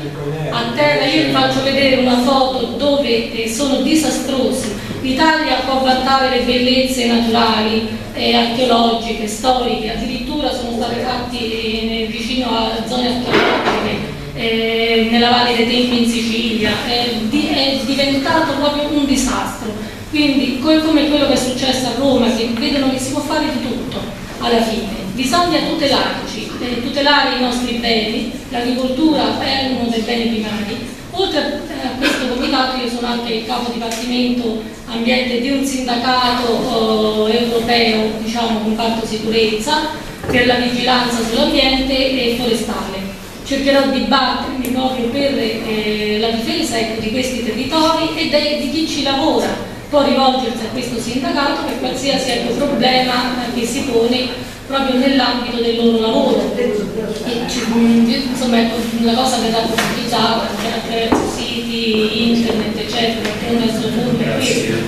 E poi volevo dire innanzitutto che eh, bisogna tornare, come avete detto prima, al Made in Italy soprattutto difendere i prodotti locali, i produttori locali, perché noi acquistiamo, per esempio faccio parte anche di un gas, non so se lei sa che cosa significa, un gruppo di acquisto solidale, dove acquistiamo, eh, cerchiamo di, acquistare prodotti locali, perché magari eh, dalle aziende anche italiane, noi per esempio prendiamo l'arancia dalla Sicilia, che di solito queste aziende più, avevano chiuso e dovevano lasciare per terra eh, le arance che sono le più buone in tutto il mondo, far venire dal, dal Marocco le arance, i fiorentini, eccetera. Quindi tutto questo va ridimensionato, va rivisto e non va approvato soprattutto ecco, a livello di governo. Anche perché l'Italia, scusa, l'Italia è il paese che negli ultimi anni è cementificato più di tutta Europa. Eh? Sì, sì, sì, sì. Lascio la parola. Sì. No, per rispondere sulla questione del consumo di suolo, di suolo le ragioni adotte dall'amica sono più che fondate. Infatti il Movimento 5 Stelle, sia alla Camera che al Senato, ha presentato subito una proposta di legge contro il consumo di suolo attualmente in discussione in Commissione Ambiente. Non più tardi di ieri sono arrivati i file, eh, lei magari, eh, se è possibile, tu magari sei in contatto con gli altri portavoci, sicuramente hai avuto modo di vedere questa proposta di legge quindi ti invito in qualche modo a prenderne atto e a emendarla, a segnarci le cose che secondo te vanno nella direzione giusta e quelle che invece non vanno nella direzione giusta. Il consumo di suolo è un problema serio. La superficie, la SAO italiana dovrebbe girarsi intorno a 12 milioni di ettari. Eh, viene erosa a ritmo di un milione di ettari all'anno, sono un po' questi i dati che noi abbiamo in, in possesso. Poi la, la superficie agraria, eh, il suolo agrario è bene non rinnovabile, cioè una volta consumato, una volta cementificato, una volta impermeabilizzato non può essere più, può, è molto difficile farlo tornare allo stato originario. Quindi ecco, noi da questo punto di vista ci siamo contro il consumo di suolo, contro la cementificazione ed è per questo che siamo contro l'Expo 2015 perché molti ci dicono ma come mai il Movimento 5 Stelle si è schierato così apertamente contro l'Expo 2015 perché un, un, evento che in qualche modo ha il compito di promuovere l'agricoltura eh, l'alimentazione, diciamo, l'importanza del, dell'agroalimentare a livello europeo, a livello mondiale, parte col piede sbagliato, cementificando di fatto una superficie più o meno mi pare di 80 ettari. Eh, quindi c'è un'area verde, anzi un'area agricola a nord del comune di Milano, dove prima si coltivava mais, prima c'erano coltivazioni dei cereali, adesso c'è questa immensa distesa di cemento, di canali, di tende, eccetera. Questo dovrebbe essere il bigliettino di visita, visita di un'iniziativa che dovrebbe promuovere l'agricoltura italiana. Ecco perché il Movimento 5 Stelle dice sempre di no, perché non è un buon modo di cominciare. Allora, non è che noi avevamo già presentato a suo tempo l'Expo alternativo, perché non riutilizzare eh, riconvertire le strutture ex industriali che si trovano alla periferia di Milano, perché non sfruttare il centro fieristico di Rho eh, cioè ci sono mille aree abbandonate che potevano essere riconvertite e, e fare un expo che noi definiamo diffuso piuttosto che l'expo concentrato, cementificato che vedrete da qualche, dal primo maggio eh, potete vedere, potete visitare sia, eh, sia in televisione anche direttamente. Quindi ecco perché il Movimento 5 Stelle no? Perché c'è anche la questione del consumo di suolo. Poi a parte che sono state inviate tutte le multinazionali all'interno dell'Expo 2015 che invece di non affamare il pianeta vanno in una direzione esattamente opposta. Eh, quindi ecco, queste sono un po' le ragioni. Però ecco, mi ricollego al discorso del consumo eh, di suolo. Proposta di legge già depositata eh, GAL, gas, gli esempi, le esperienze che, lei, che tu riportavi non li condividiamo assolutamente, tanto che abbiamo presentato qui una proposta di legge che si chiama agricoltura contadina. Cioè dare la possibilità ai, ai, agli agricoltori, agli allevatori di vendere direttamente eh, in azienda senza dover per forza eh, diciamo, esatto, fare tutti i passaggi della filiera per grande distribuzione aiutare, cioè questo già si può fare si intende, tu hai la partita io lo puoi fare però cercare di eh, togliere eh, qualche onere burocratico. Ecco la proposta di legge va in quella direzione di dare la possibilità all'agricoltore e al pastore di fare il formaggio e fare la vendita eh, diciamo così di prossimità. Eh, questo, diciamo, questa proposta noi la stiamo portando avanti. Eh, posso colgo il suggerimento che mi ha dato Massimiliano per dirvi che in fondo noi abbiamo della marmellata e del finocchio per chi volesse sostenere il gruppo di Canino del, del Movimento 5 Stelle. Non troppo distanti da noi eh, Monterosi se non sbaglio Filippo credo che sia il primo comune in Italia dove praticamente non esiste più un metro quadro dedicato all'agricoltura. Ho detto un'esagerazione? No, poco, poco esagerata no, qualche metro quadro probabilmente ancora c'è ma forse dobbiamo ancora qualche otto quindi non è che dobbiamo andare tanto, tanto lontani io se non ci sono altre domande in merito suggerirei a Massimiliano di fare un attimino anche un punto della situazione, se voleva dire qualche cosa, vista la stagione che c'è stata dell'olio, eh, voleva suggerire qualcosa? Eh, no, Andrea diceva sì, di, di, mettere quello slide. Eh, prego Massimiliano. Sì. Sì, quindi per ultimo Uh, ma non per questione così di minore importanza, l'olivicoltura italiana. Questi sono un po' i dati che noi eh, abbiamo raccolto, o meglio che ci sono stati forniti da organismi così istituzionali. Eh, questa è la percentuale così di perdite della produzione eh, olivicola italiana distinta per regioni. E, ok quindi come vedete ecco, la perdita diciamo così la, um, sono la, la, riguardo la produzione di oliva media del 35% si sono avuti picchi del 45% di perdita di produzione in Toscana eh, in eh, Basilicata e la, Sicilia invece altre regioni come anche la Sardegna ne hanno risentito di meno di questa perdita di produzione. Perdita di produzione penso che voi lo insegnerete eh, dovuta appunto all'ultimo al fitofano eh, endemico che è appunto la mosca dell'olivo, la mosca quindi olearia. Eh, questa sua eh, diciamo così recrudescenza è la causa di condizioni climatiche eh, avverse per noi, favorevoli per, per la mosca, quindi una, una primavera-estate diciamo piuttosto umida e fresca e quindi condizioni ideali per la purificazione eh, dell'insetto che quindi ha fatto le sue belle diciamo così ovode posizioni all'interno del, delle, delle, olive eh, sono sviluppate da queste uova le larve che hanno mangiato il frutto e poi hanno terminato la cassola con queste perdite di produzione allora, ecco, noi diciamo che tipo di azione stiamo portando avanti per quanto riguarda eh, questa, diciamo, questa, questa, crisi che colpisce l'olivicoltura italiana che rientra sempre nel brand che dicevo prima Made in Italy perché il miglior olio del mondo è quello italiano, non diciamo italiano, lo, dice, eh, lo dicono il resto dei paesi, diciamo eh, il resto del mondo. Eh, anche qui a Canino mi pare che ci siano delle eccellenze, le eccellenze dell'olio del Canino diciamo, sono rinomate, però voglio dire anche a livello di riconoscimento di qualità dell'olio di canino a livello internazionale lo dimostra il fatto che eh, compagnie aeree eh, utilizzano l'olio di canino per, da consumare a bordo dei propri aeroplani, quindi ecco, significa che l'olio eh, italiano, in modo particolare l'olio laziale e di altre regioni italiane veramente è un eccellenza. Eh, lo dimostra anche il fatto che abbiamo moltissimi DOP eh, in Italia, il più alto numero di prodotti così, di marchi di, marchi di produzione di qualità, 43, eh, DOP, 43 denominazioni di origine, 42 DOP un IGP che e deteniamo il 38% delle designazioni di origine dei marchi europei, quindi per, a dimostrazione del fatto di un'eccellenza che però quindi è stata fortemente colpita in quest'ultima stagione.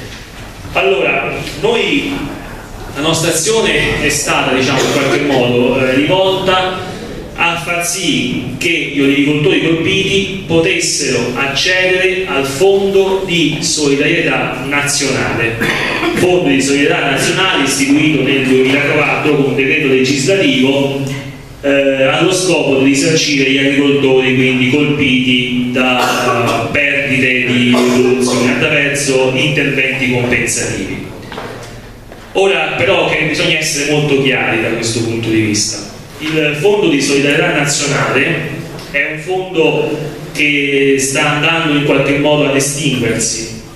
Eh, I governi, il governo italiano non, non, non ci sta mettendo più soldi, più euro, questa volta non per colpa del governo italiano, ma perché è proprio una politica europea quella di in qualche modo bloccare questo modo, questo modo così, modalità, questa modalità di interventi compensativi. E quello che invece l'Europa sta promuovendo è tutto un altro tipo di discorso per far fronte a queste perdite di produzione ed è quello di promuovere tutti gli Stati membri, tutti i 28 Stati membri, i piani assicurativi agricoli nazionali. Quindi, ripeto, cosa significa quello che ho detto? Che qualora eh, ci siano delle perdite di produzioni dovute a calamità eh, naturali eh, che possono essere piogge, grandinate o anche insetti, lo Stato non darà più aiuti in denaro quello che invece dovranno fare gli agricoltori per poter compensare queste perdite di produzione sarà quello di sottoscrivere polizze assicurative. Questo purtroppo, ripeto, io potrei attaccare tranquillamente Renzi la maggioranza, non lo faccio perché finalmente non è non è, questa non è una decisione che prende l'Italia. Però che la vita naturale ci saranno più. Esatto, quindi il problema è questo. Allora, noi però in questa fase, Movimento 5 Stelle, diciamo che l'azione la siamo riusciti in qualche modo a portarla a termine perché comunque è prevista in questa fase così transitoria di transizione dal Fondo di Solidarietà Nazionale al Piano Assicurativo Nazionale ancora qualche deroga. Infatti abbiamo eh, presentato un ordine del giorno nell'ambito della legge di stabilità 2015 durante, con il quale ordine del giorno noi impegnavamo il governo a valutare la possibilità di prevedere un'apposita deroga atta a consentire l'accesso degli agricoltori colpiti dalle patologie di cui in premessa olio, Uh, e castagno essenzialmente, quindi eh, colpite dalle patologie che riguardano l'olivo e il castagno, agli interventi compensativi previsti dall'articolo 5 del legislativo 102 2004, cioè il Fondo di Solidarietà Nazionale. Quindi noi questo impegno l'abbiamo uh, chiesto al governo, è stato accolto, quindi adesso aspettiamo che venga dato atto, che venga quindi corrisposto questo nostro impegno e, e, che quindi si, in qualche modo si intervenga nei confronti di tutti gli olivicoltori e tutti i castanicoltori che quest'anno sono stati così falcidiati da queste cose. Però sappiate bene, agricoltori e olivicoltori, che questa misura eh, sarà forse una delle ultime, non arriveranno più i soldi allo Stato centrale. bisognerà sottoscrivere delle polizze assicurative che poi saranno agevolate perché comunque l'Europa darà dei soldi per in qualche modo incentivare le compagnie assicurative a sottoscrivere polizze con gli agricoltori. Eh, però la strada, la strada, che sta percorrendo l'Europa è quella ed è difficile effettivamente andarci, anche perché qualora uno Stato facente parte dell'Unione Europea dovesse in qualche modo compensare alle perdite di produzione con il Fondo di solidarietà nazionale eh, si rischierebbe l'apertura di una procedura di infrazione per, come si dice, eh, aiuto di Stato assolutamente, quindi vedrebbe, si potrebbe configurare come aiuto di Stato, quindi si avrebbe una procedura di infrazione. Quindi la strada che l'Europa ha scelto, l'Europa che tutti noi con viva, vibrante soddisfazione abbiamo così deciso in qualche modo eh, di sposare la causa europea, ecco, la linea è questa, quindi non più aiuti di Stato ma eh, fondo di, ma, piano assicurativo eh, nazionale. Che cos'è questo piano assicurativo nazionale? Molto semplice, a novembre, però quest'anno ancora non è uscito, viene emanato eh, dal governo un decreto ministeriale, io se volete ho il pdf qui con me, in cui c'è l'elenco di tutte le colture, eh, ma anche tutte le specie zootecniche che possono essere assicurate e tutte le patologie e le calamità eh, che prevedono quindi eh, sempre l'indennizzo e l'assicurabilità. Queste, queste, specie, queste diciamo, calamità che possono abbattersi vanno sotto il nome di elenco di eh, garanzie.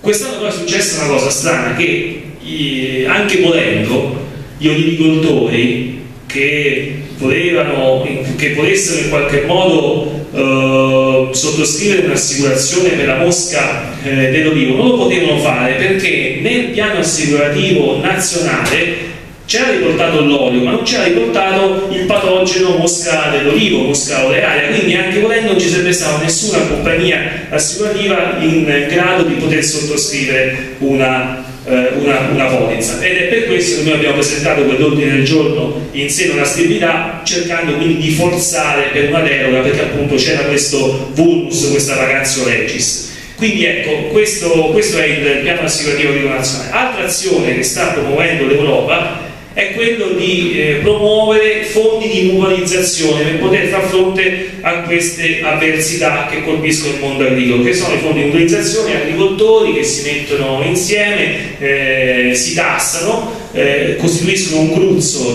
un, gruzzo, di soldi, un, un fondo eh, dal quale attingere poi interventi compensativi in caso di calamità eh, naturali. Quindi questa è la direzione, la via maestra che la nostra Europa, viene da dire nostra, sta prendendo, quindi non più aiuti di Stato.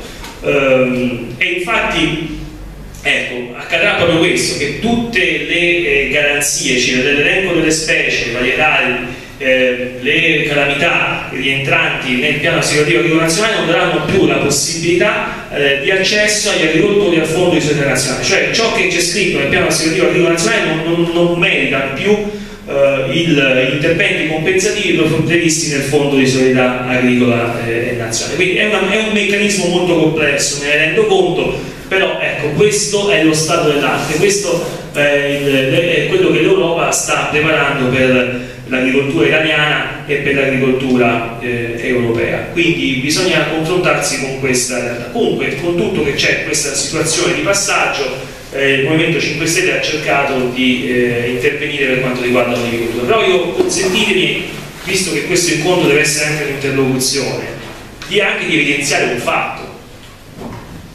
Allora, sicuramente la differenza di perdite di produzione tra le varie regioni è dovuta anche a una non omogeneità di condizioni climatiche eh, su tutto il territorio nazionale però io penso ai fitosanitari regionali, consentitemi di fare una piccola critica.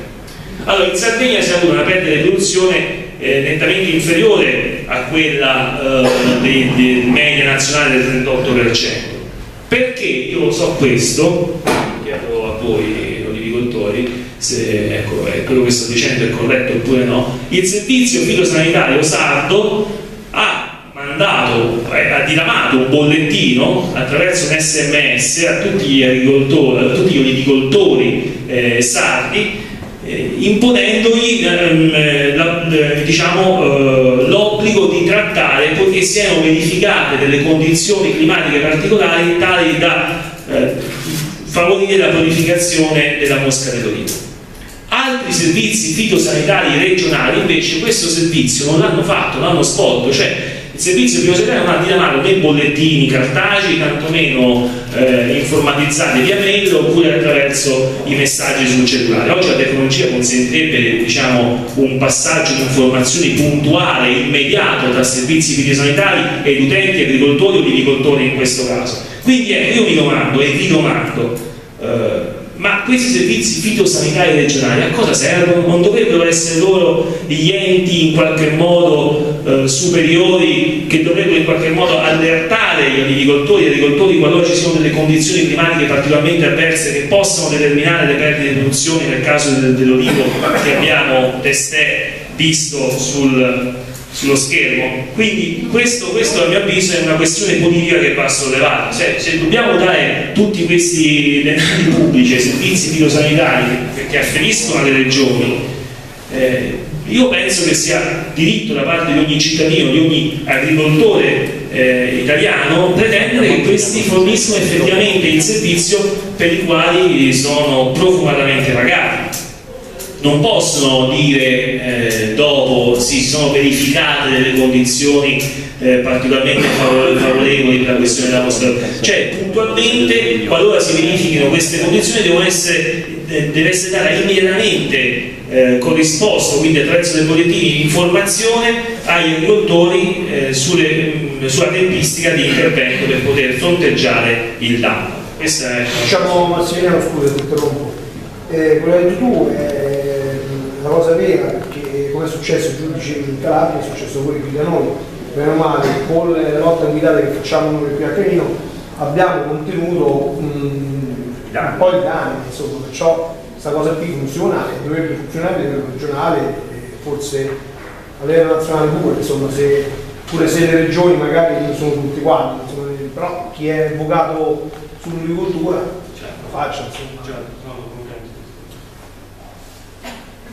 una domanda sull'esportazione dell'olio. Noi abbiamo un concittadino che esporta l'olio in Cina e sappiamo che è difficilissimo portare roba dentro la Cina. E però quest'anno abbiamo visto che anche l'ingresso negli Stati Uniti è stato molto ostacolato da, credo, delle banalità, se confrontiamo quello che immagino loro con la, la qualità del nostro olio. Eh, ti vorrei chiedere questo, rientra per caso nel futuro TTP o comunque quello che è o che sarà questo, questo ostacolo all'ingresso del nostro olio negli Stati Uniti? Questa è la prima che uno fa pulire. Allora, che cosa sia il TTIP penso lo sappiamo tutti quanti, ormai lo sanno anche puri, posso essere per una volta così spudoratamente il Movimento 5 Stelle, grazie al Movimento 5 Stelle, perché il Movimento 5 Stelle sul TTIP ha, ha, ha organizzato Agora, eh, eventi pubblici per informare i cittadini.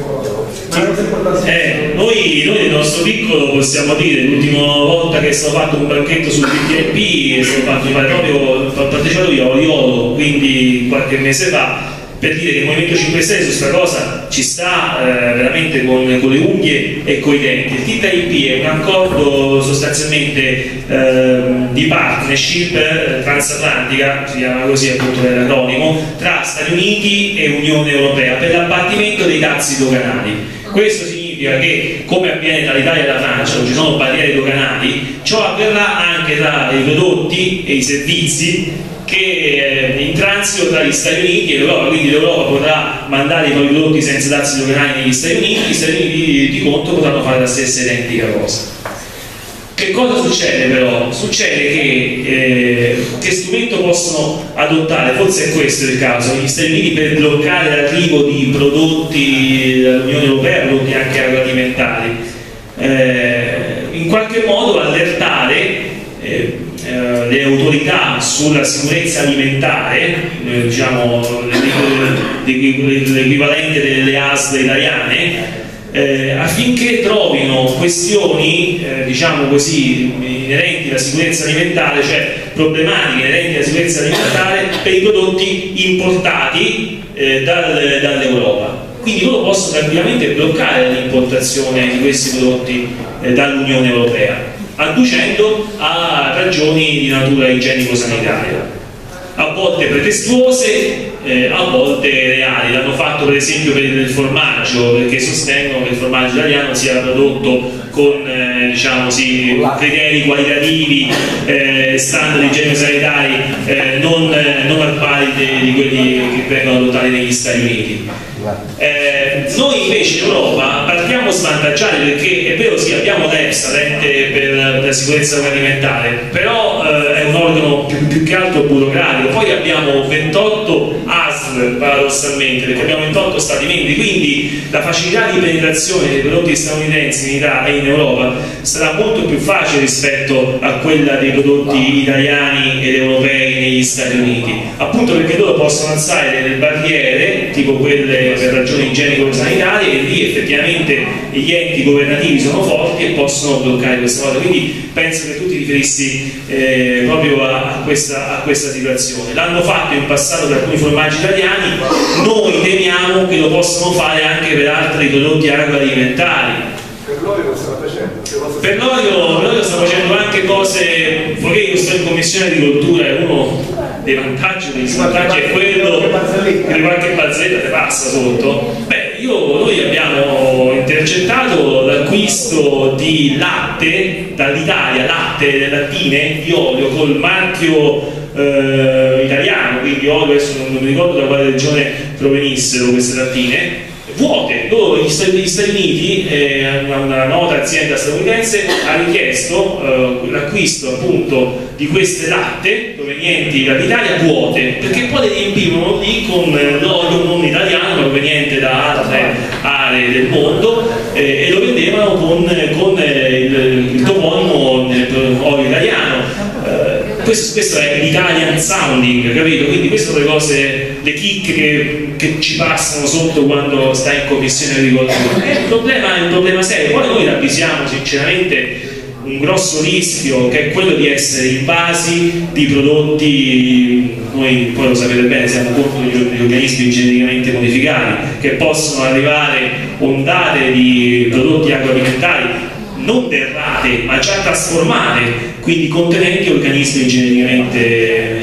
modificati. Quindi il TTIP è devastante. Poi per non parlare dell'aspetto legale dei servizi quindi non solo dei beni tangibili ma anche dei servizi significa che aziende statunitensi potranno rilevare aziende eh, italiane per esempio che gestiscono l'acqua che dovrebbe essere pubblica tipo la Talerno potrebbe un'azienda di Boston ad esempio rilevare la, la, la italiana. Poi a quel punto noi dove andiamo a protestare? andiamo a Viterbo o andiamo a Boston? ecco quindi ragazzi il problema è uno cioè la globalizzazione. Io personalmente sono convinto assertore eh, no global quindi questo, questo, è quello che mi conto. Poi non vi ho parlato dell'ISDS il, il sistema che si sta inventando per affrontare i contenziosi commerciali a livello sovranazionale.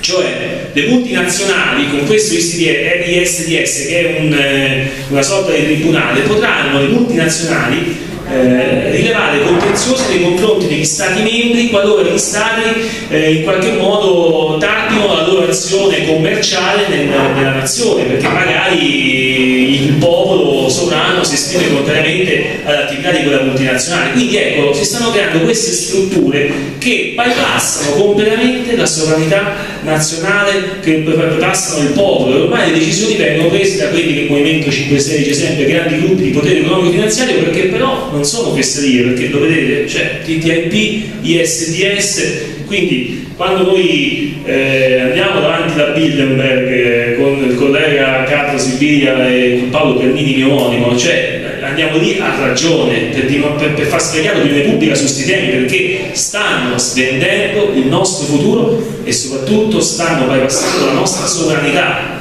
alimentare, monetaria, chiamiamola così, sovranità con la S maiuscola, quindi è assedio elementare, quando dopo la sovranità si diventa schiavi, eh? cioè o c'è la sovranità o c'è la schiavitù. Per questo motivo stanno attaccando la, la Costituzione, cioè, la modifica della Costituzione serve a questo, a far perdere il potere al nostro governo.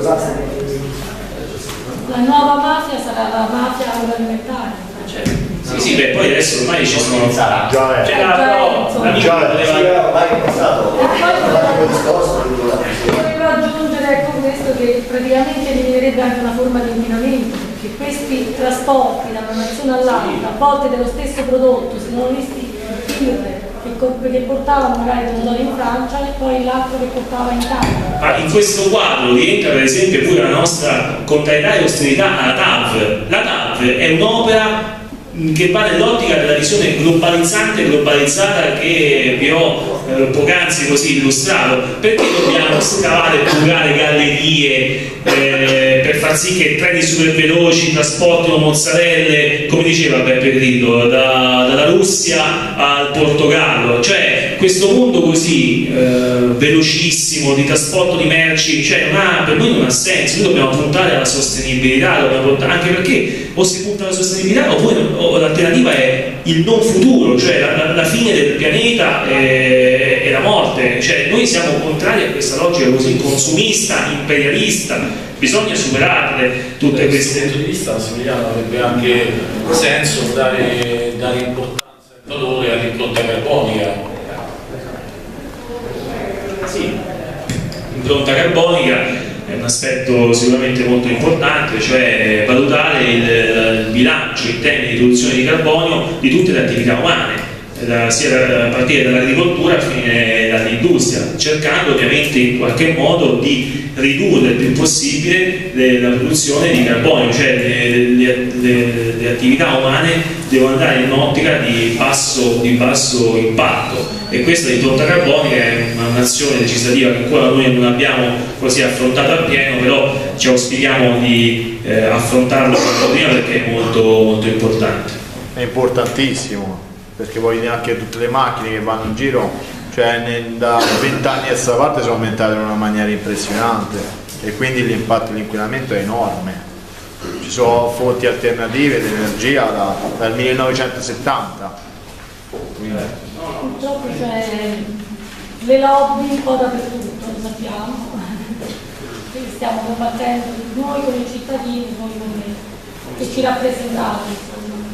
Per sì, ma deve entrare anche nella mentalità delle persone, perché io ho visto persone che fa 100 metri non macchina. Cioè deve entrare anche questo nella mentalità delle persone. Ma infatti il nostro compito è quello più difficile di tutti quanti perché noi possiamo fare pure 200 ordini del giorno, 1000 interrogazioni, 300.000 proposte di legge, ma se non cambia l'approccio culturale, cioè se, se, il cittadino smette, non smette di essere consumatore ma diventa cittadino, infatti a me il termine consumatore non piace perché il consumatore ha tanto idea di un animale con tutto rispetto degli animali che sta lì e consuma quello che gli viene dato in pasto, non gli viene buttato là, diventa essere senziente nel vero senso della parola, cioè è inutile fare tutte queste battaglie, è inutile il Movimento 5 Stelle, è inutile incontri come questi, cioè lasciamo perdere. La nostra, umilmente, nostra, la nostra, il nostro obiettivo è quello di fare una rivoluzione culturale, far certo. capire eh, ai cittadini che, che, sono sovrani, che, che sono artefici del proprio destino, del futuro, perché non devono farsi così eh, somministrare le cose da parte. Eh,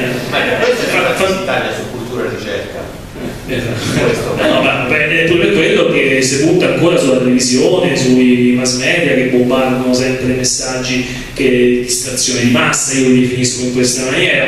Cioè, noi tutte le battaglie che potevamo fare come Movimento 5 Stelle abbiamo preso subito come si dice abbiamo cavato quella più difficile, cioè una, una rivoluzione culturale. Eh, però... Beh, si può risolvere tutto in tre parole. Un po' di spirito nazionalistico che l'Italia italiano non c'è più, agricoltura e turismo. Basta, questo dovrebbe essere l'Italia. Eh, ma, eh, questa, è, questa è la rivoluzione culturale che bisogna fare. Niente altre il problema è che non si, non si può lamentare adesso, bisogna lamentarsi vent'anni fa, vent'anni fa. Il GO al GO. No, quando il GO non esisteva ancora, quando il, la comunità europea era, era, ancora soltanto con i piccoli paesi fondatori. E si chiamava ancora comunità. Eh sì. E non si chiamava unione. Purtroppo la gente in Italia lavora con i partiti e senza partiti non mangia e quindi è proprio una vera e propria forma di mafia, questa è la realtà di fatto.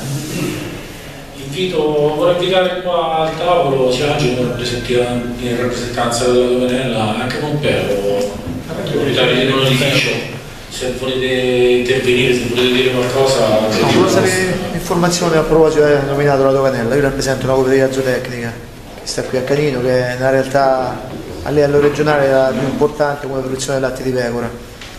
Eh, qui c'è il dottore che è veterinario, poi lui sa, sa bene il problema. Non so se è arrivato anche nelle stanze a Roma, qui c'è un problema impellente del lupo che sta facendo stragi dei, dei greggi. Qui o si trova una soluzione perché eh, l'allevatore non arriva più, cioè fanno dei danni enormi, e le produzioni sono calate tantissimo e si rischia l'estinzione del pastore. Qui eh, la soluzione ancora non la vedo, finché magari il lupo, facciamo una cosa, non, non ammazza una persona, penso No, che, nessuno no. ci pensa. No, infatti poi Ammazza pure la persona, poi ci vedrà. c'è una cosa io sì. Tra un po' ci arriva, quando fide pure le pecore, se riusciamo a finire i cinghiali. No, perché qui eh, il settore zootec- zootecnico è molto sentito, provincia di Viterbo e provincia di. Grosseto Siena, eh, esclusa la Sardegna, in Italia l'elemento vino è, è tutto qui. È un problema molto importante e sentito. Qui ho dei pastori che tutti i giorni vengono e hanno delle problematiche, ma si può sentire qualcuno in regione, qualcuno al ministero. Io Come se c'era qualche la notizia.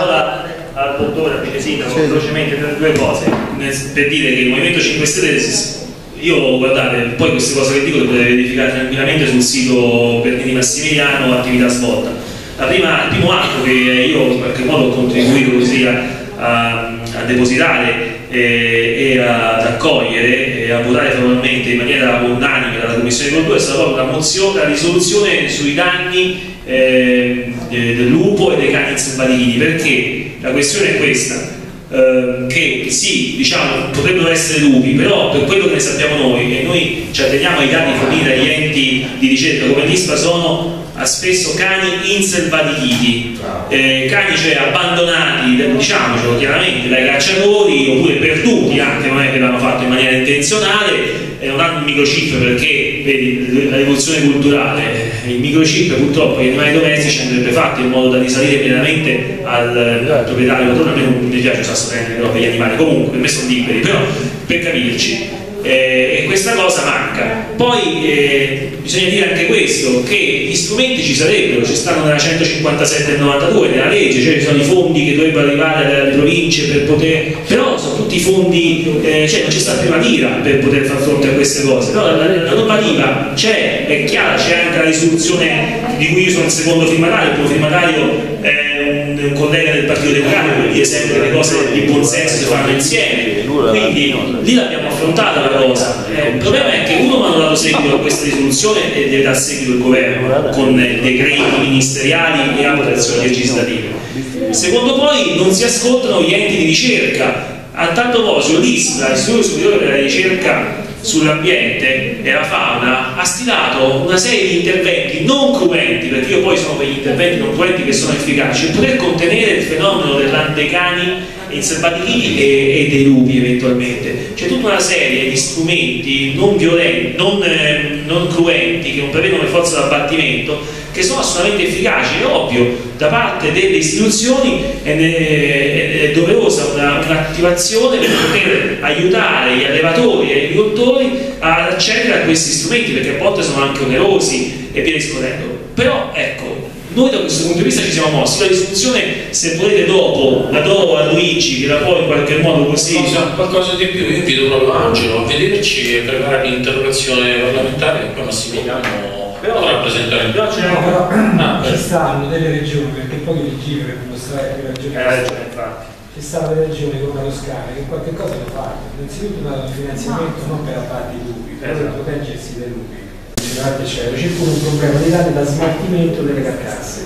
Perché gli animali che sono, che sono eh, vicini devono essere smaltiti secondo una norma che bisognerebbe cambiare, tranne che ci viene meno. Quindi ogni carcassa degli animali al pastore costa da 4 a 30 euro per essere smaltita. Allora spesso non denunciano il fatto che non pagasse 30 euro. Quindi noi abbiamo dei pastori che spariscono le pecore, non le denunciano per non pagasse 30 Qua, qua in Toscana hanno fatto una legge semplice, si chiama cimitero aziendale, dove praticamente quando ci stanno dei danni da lupi possono interrare le loro carcazze all'interno della loro azienda.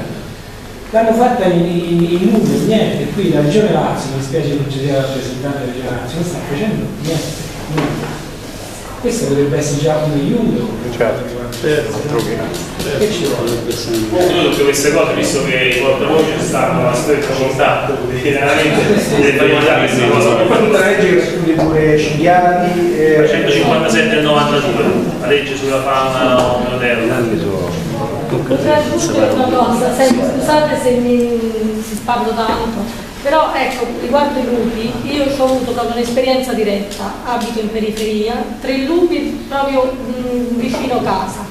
Hanno visto a noi, si sono per tutelare quei lupi e mi ha detto che la popolazione non è preparata, diciamo, perché è tanto tempo che non si vedono questi branchi di lupi. Però la soluzione è proprio quella che ha detto eh, l'onorevole, nel senso di prima di tutto ecco, dovrebbero arrivare i fondi ha, ai pastori per diciamo, recintare, re- proteggere questi, questi, questi ovini. Insomma. E poi ecco, sui danni, sugli eventuali danni, maggiormente però proteggerli, recinzioni, cose di qualsiasi genere dove il lupo non può Il pastore eh, niente, l'importante è rimanere. No, ecco, quello che pensa Per forestale. esempio io sono a conoscenza, non comprendo poi eh, Virginio che è penso la la figura più eh, esperta in quest'ambito così, perché è veterinario, per aver capito.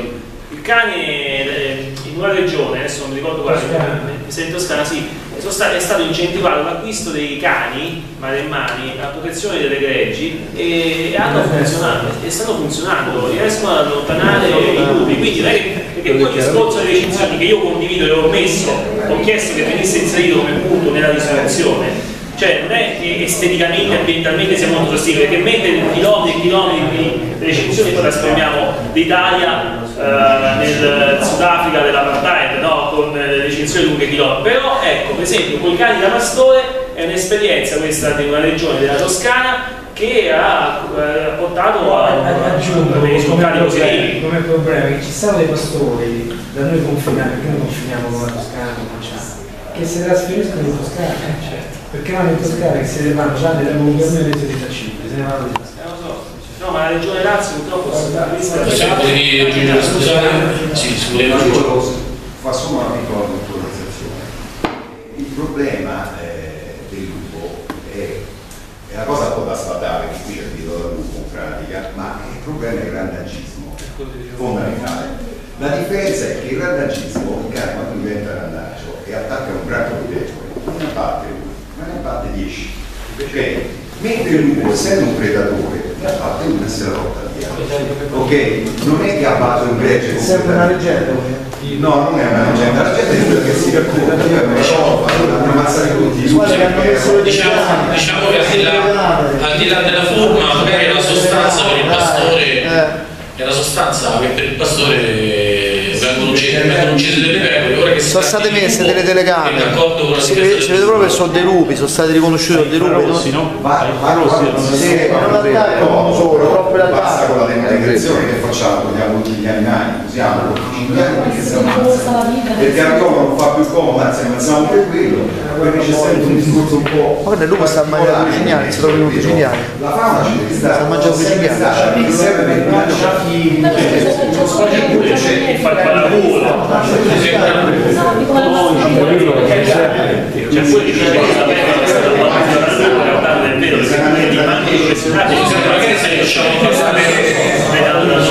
è perché invece il veterinario sì, Che non si possono ma lui puoi salvare. Mi sembra comunque di, di capire che eh, cioè, interrogando tra di noi abbiamo la fortuna di avere Massimiliano qua possono venire fuori anche proposte e soluzioni da proporre appunto in commissione, nelle sedi legislative. Il, eh, sì, ho segnato anche questo Giuseppe. E, Infatti potrebbe Io- essere 5 Stelle. Quando c'è stato sì, no, non è questo, non è questo Giuseppe. Dicevo l'importanza, come scusami Ernesto, come, come sottolineavo all'inizio, magari di acquisire e anche noi di propagandare la- l'educazione civica, l'importanza eh, di questo scambio di informazioni, perché questo sostanzialmente è per arrivare, per arrivare direttamente nelle, nelle Ma istituzioni. voglio dire che è giusto, dice il signore Ragione, tanti danni sono dati da cani, cani simpatichili, perché poi i cani, una volta che entrano in gregge, non è che eh, vicino sono una pecora, poi si divertono, giocano e fanno proprio danni, grandissimi danni. E riguardo a questo qui, eh, c'è una legge nazionale riguardo al microchip che è molto poco, molto poco sentita, in particolar modo è molto poco sentita dai pastori stessi, perché i pastori non vogliono i microchip mancati. Qual è il motivo? Forse il motivo è che poi il cane fa un danno succede sempre così, di chiesto cane, non lo so, io non so niente. Voglio pure dire però che adesso c'è una sentenza da parte, una sentenza di due giorni fa, dove dice- eh, si dice che se un cane in mezzo alla strada provoca un incidente, la colpa, guarda caso, di è? Un'altra volta del sindaco, diventa del sindaco. Eh sì, perché lui Eh sì, perché lui non è il titolare, il del sindaco. Come siete sopravvissuti fino ad oggi? Allora adesso, e se no dovere, tra l'altro, i danni dei pagatari dell'assicurazione comunale, che c'è un'assicurazione che ricopre determinati danni, ma questi dai cani non è mai coperta. Premetto che noi quando siamo entrati l'assicurazione all'anno si pagava 7.000 euro, adesso se ne pagano circa 40, perché poi adesso forse è una questione che eh, se non ce la passiamo ci rimane, se uno cade in un tombino o sbatte la cosa, il comune si Adesso figuratevi se bisogna avere alcuni danni dovuti a incidenti europei da cani non devo ci Poi non so quanto monterà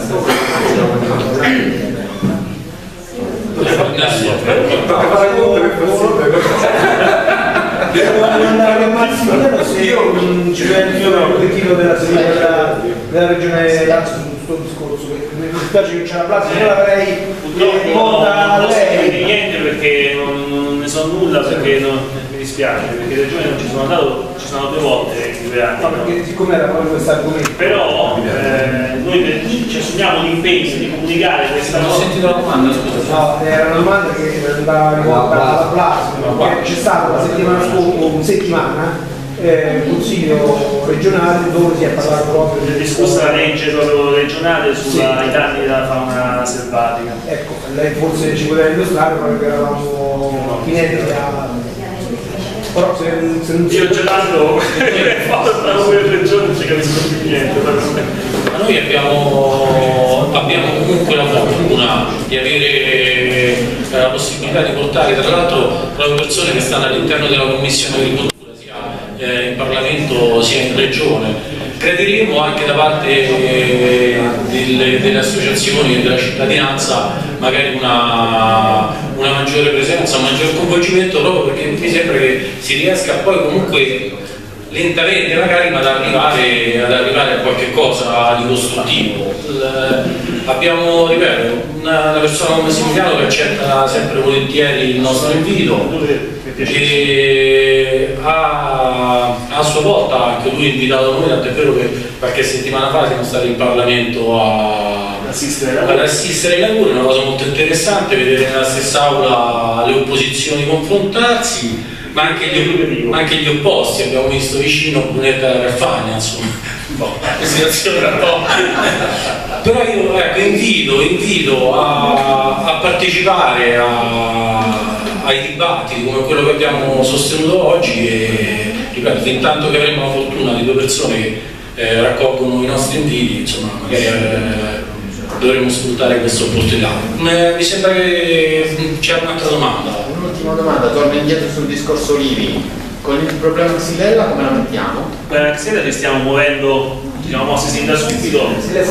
Perché a livello parlamentare dalla Camera, dalla Commissione della Camera dell'Agricoltura e dalla Commissione Agricoltura della Camera dei Deputati è uscita una risoluzione sulla questione della xylella fastidiosa che è stata quindi eh, approvata e dove ecco, lì si, si affronta il problema penso a mio avviso con, eh, nel modo giusto. Ora, eh, poiché è una questione diciamo, localizzata soprattutto tra il Molise e la Puglia, se ne sono occupati i miei colleghi del posto, quindi però ecco, tutti questi atti che noi abbiamo presentato, se volete in qualche modo analizzare Io ero rimasto alla questione che Bruxelles ha dato l'ordine tassativo del radicamento, Sì. non l'ho seguita più quello che Beh, noi stiamo portando avanti ecco, un'azione contro eh, sì, l'eradicamento eh, della, della malattia, però mh, per nostro avviso non, non deve corrispondere in qualche modo a- alla, alla distruzione del patrimonio olivicolo che sta asportando le piante. Quindi, eh, in realtà poi pure sulla xylella diciamo, dati scientifici nominabili non ci sono perché ci sono diverse correnti di pensiero, alcuni sostengono che sia un, pa- un, eh, un batterio endemico eh, che in alcuni periodi come la mosca dell'olivo subisce delle recrudescenze, eh, altri sostengono invece che sia stato importato, quindi dati scientifici non ci sono. Noi nell'attesa comunque abbiamo chiesto questo, che gli olivi, soprattutto quelli secolari della Puglia, non venissero tagliati, perché quello che si chiedeva era proprio questo. Poi dietro viene a scoprire che c'erano anche eh, delle becce ragioni così legate a progetti di lottizzazione, consumo di suolo e quant'altro. Però adesso quello che, che, dice la risoluzione che eh, abbiamo così approvato in Commissione Agricoltura, ecco, eh, io non lo so, però tutti questi atti li potete o scaricare dal sito della Camera oppure se ci date un'email ve le possiamo inviare come la risoluzione quella sui lupi e sui cani inselvatichiti anche questa lì potete intanto vedere quali sono le misure che il Parlamento chiede eh, che il governo metta in atto quindi sono tante cose che si possa in qualche modo impugnare davanti all'amministrazione e dire guardate il Parlamento è uscito uh, a partorire questa risoluzione con questi impegni quindi ecco perché non corrispondere a queste richieste a questi impegni del Parlamento? Ecco dateci l'email, forniteci l'idea a, a Luigi e attraverso di lui vi inviamo tutte queste risoluzioni. In Puglia abbiamo un problema nato che si chiama Vendola. Se la premetto, se la premetto, cioè, un problemone quello che potete ascoltare il sistema Puglia individuale, meglio che se ne sta. Quindi, siccome poi io faccio il ricercatore, quindi l'ho sentita ancora di più questa, questo discorso qua, perché è vero che i cambiamenti climatici portano ma modificano da comune a comune. Io per esempio i dati medio-climatici sull'acqua pendente, che tra un po' c'è pubblicazione, è drammatica la cosa, passi da picchi per esempio con nel periodo, vi porto un esempio, il 2002-2014 all'acqua pendente sono caduti quasi 11.000 mm di pioggia, quindi certo. è una bella quantità, un picco estremo. Cioè passi dal maggio per esempio, questo mi è caduto sotto mano subito, da maggio del 2002 con 2,62 eh, mm di pioggia, a maggio del 2003 sono caduti 350, cioè i salti sono, sono categorici e anche le temperature si sono viste che sono aumentate, cioè le massime sono rimaste stabili, le minime sono proprio andate su di stisso, quindi cioè, il clima è cambiato, quindi anche, anche gli eventi c'è, quindi il discorso che può avere le recrudescenze diciamo, il batterio è non, non, sono nel filone di quelli che dicono che l'hanno importato perché è uscita questa storia certo. guarda caso dice, hanno fatto l'incontro a Bari su questo potenziale problema la settimana dopo è esploso a campione dice poi non si sa perché determinati alberi li prende e determinati no c'è cioè, un lavoraccio dietro.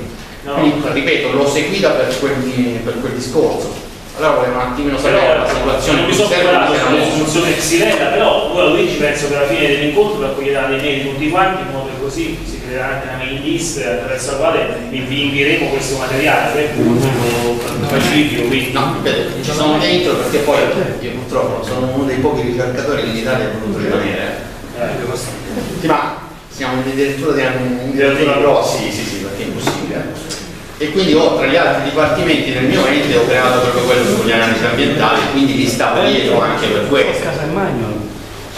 No, solo qui eh, no no grazie. No io ho faccio su domande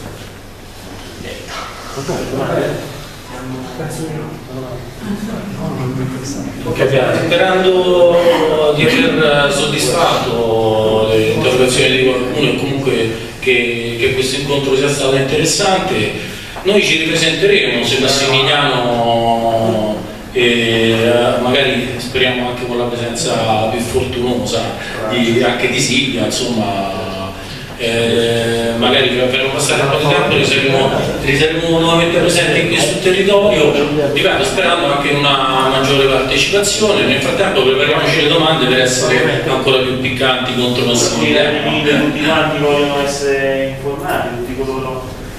Ringraziamo Massimiliano. No, grazie a voi. Grazie.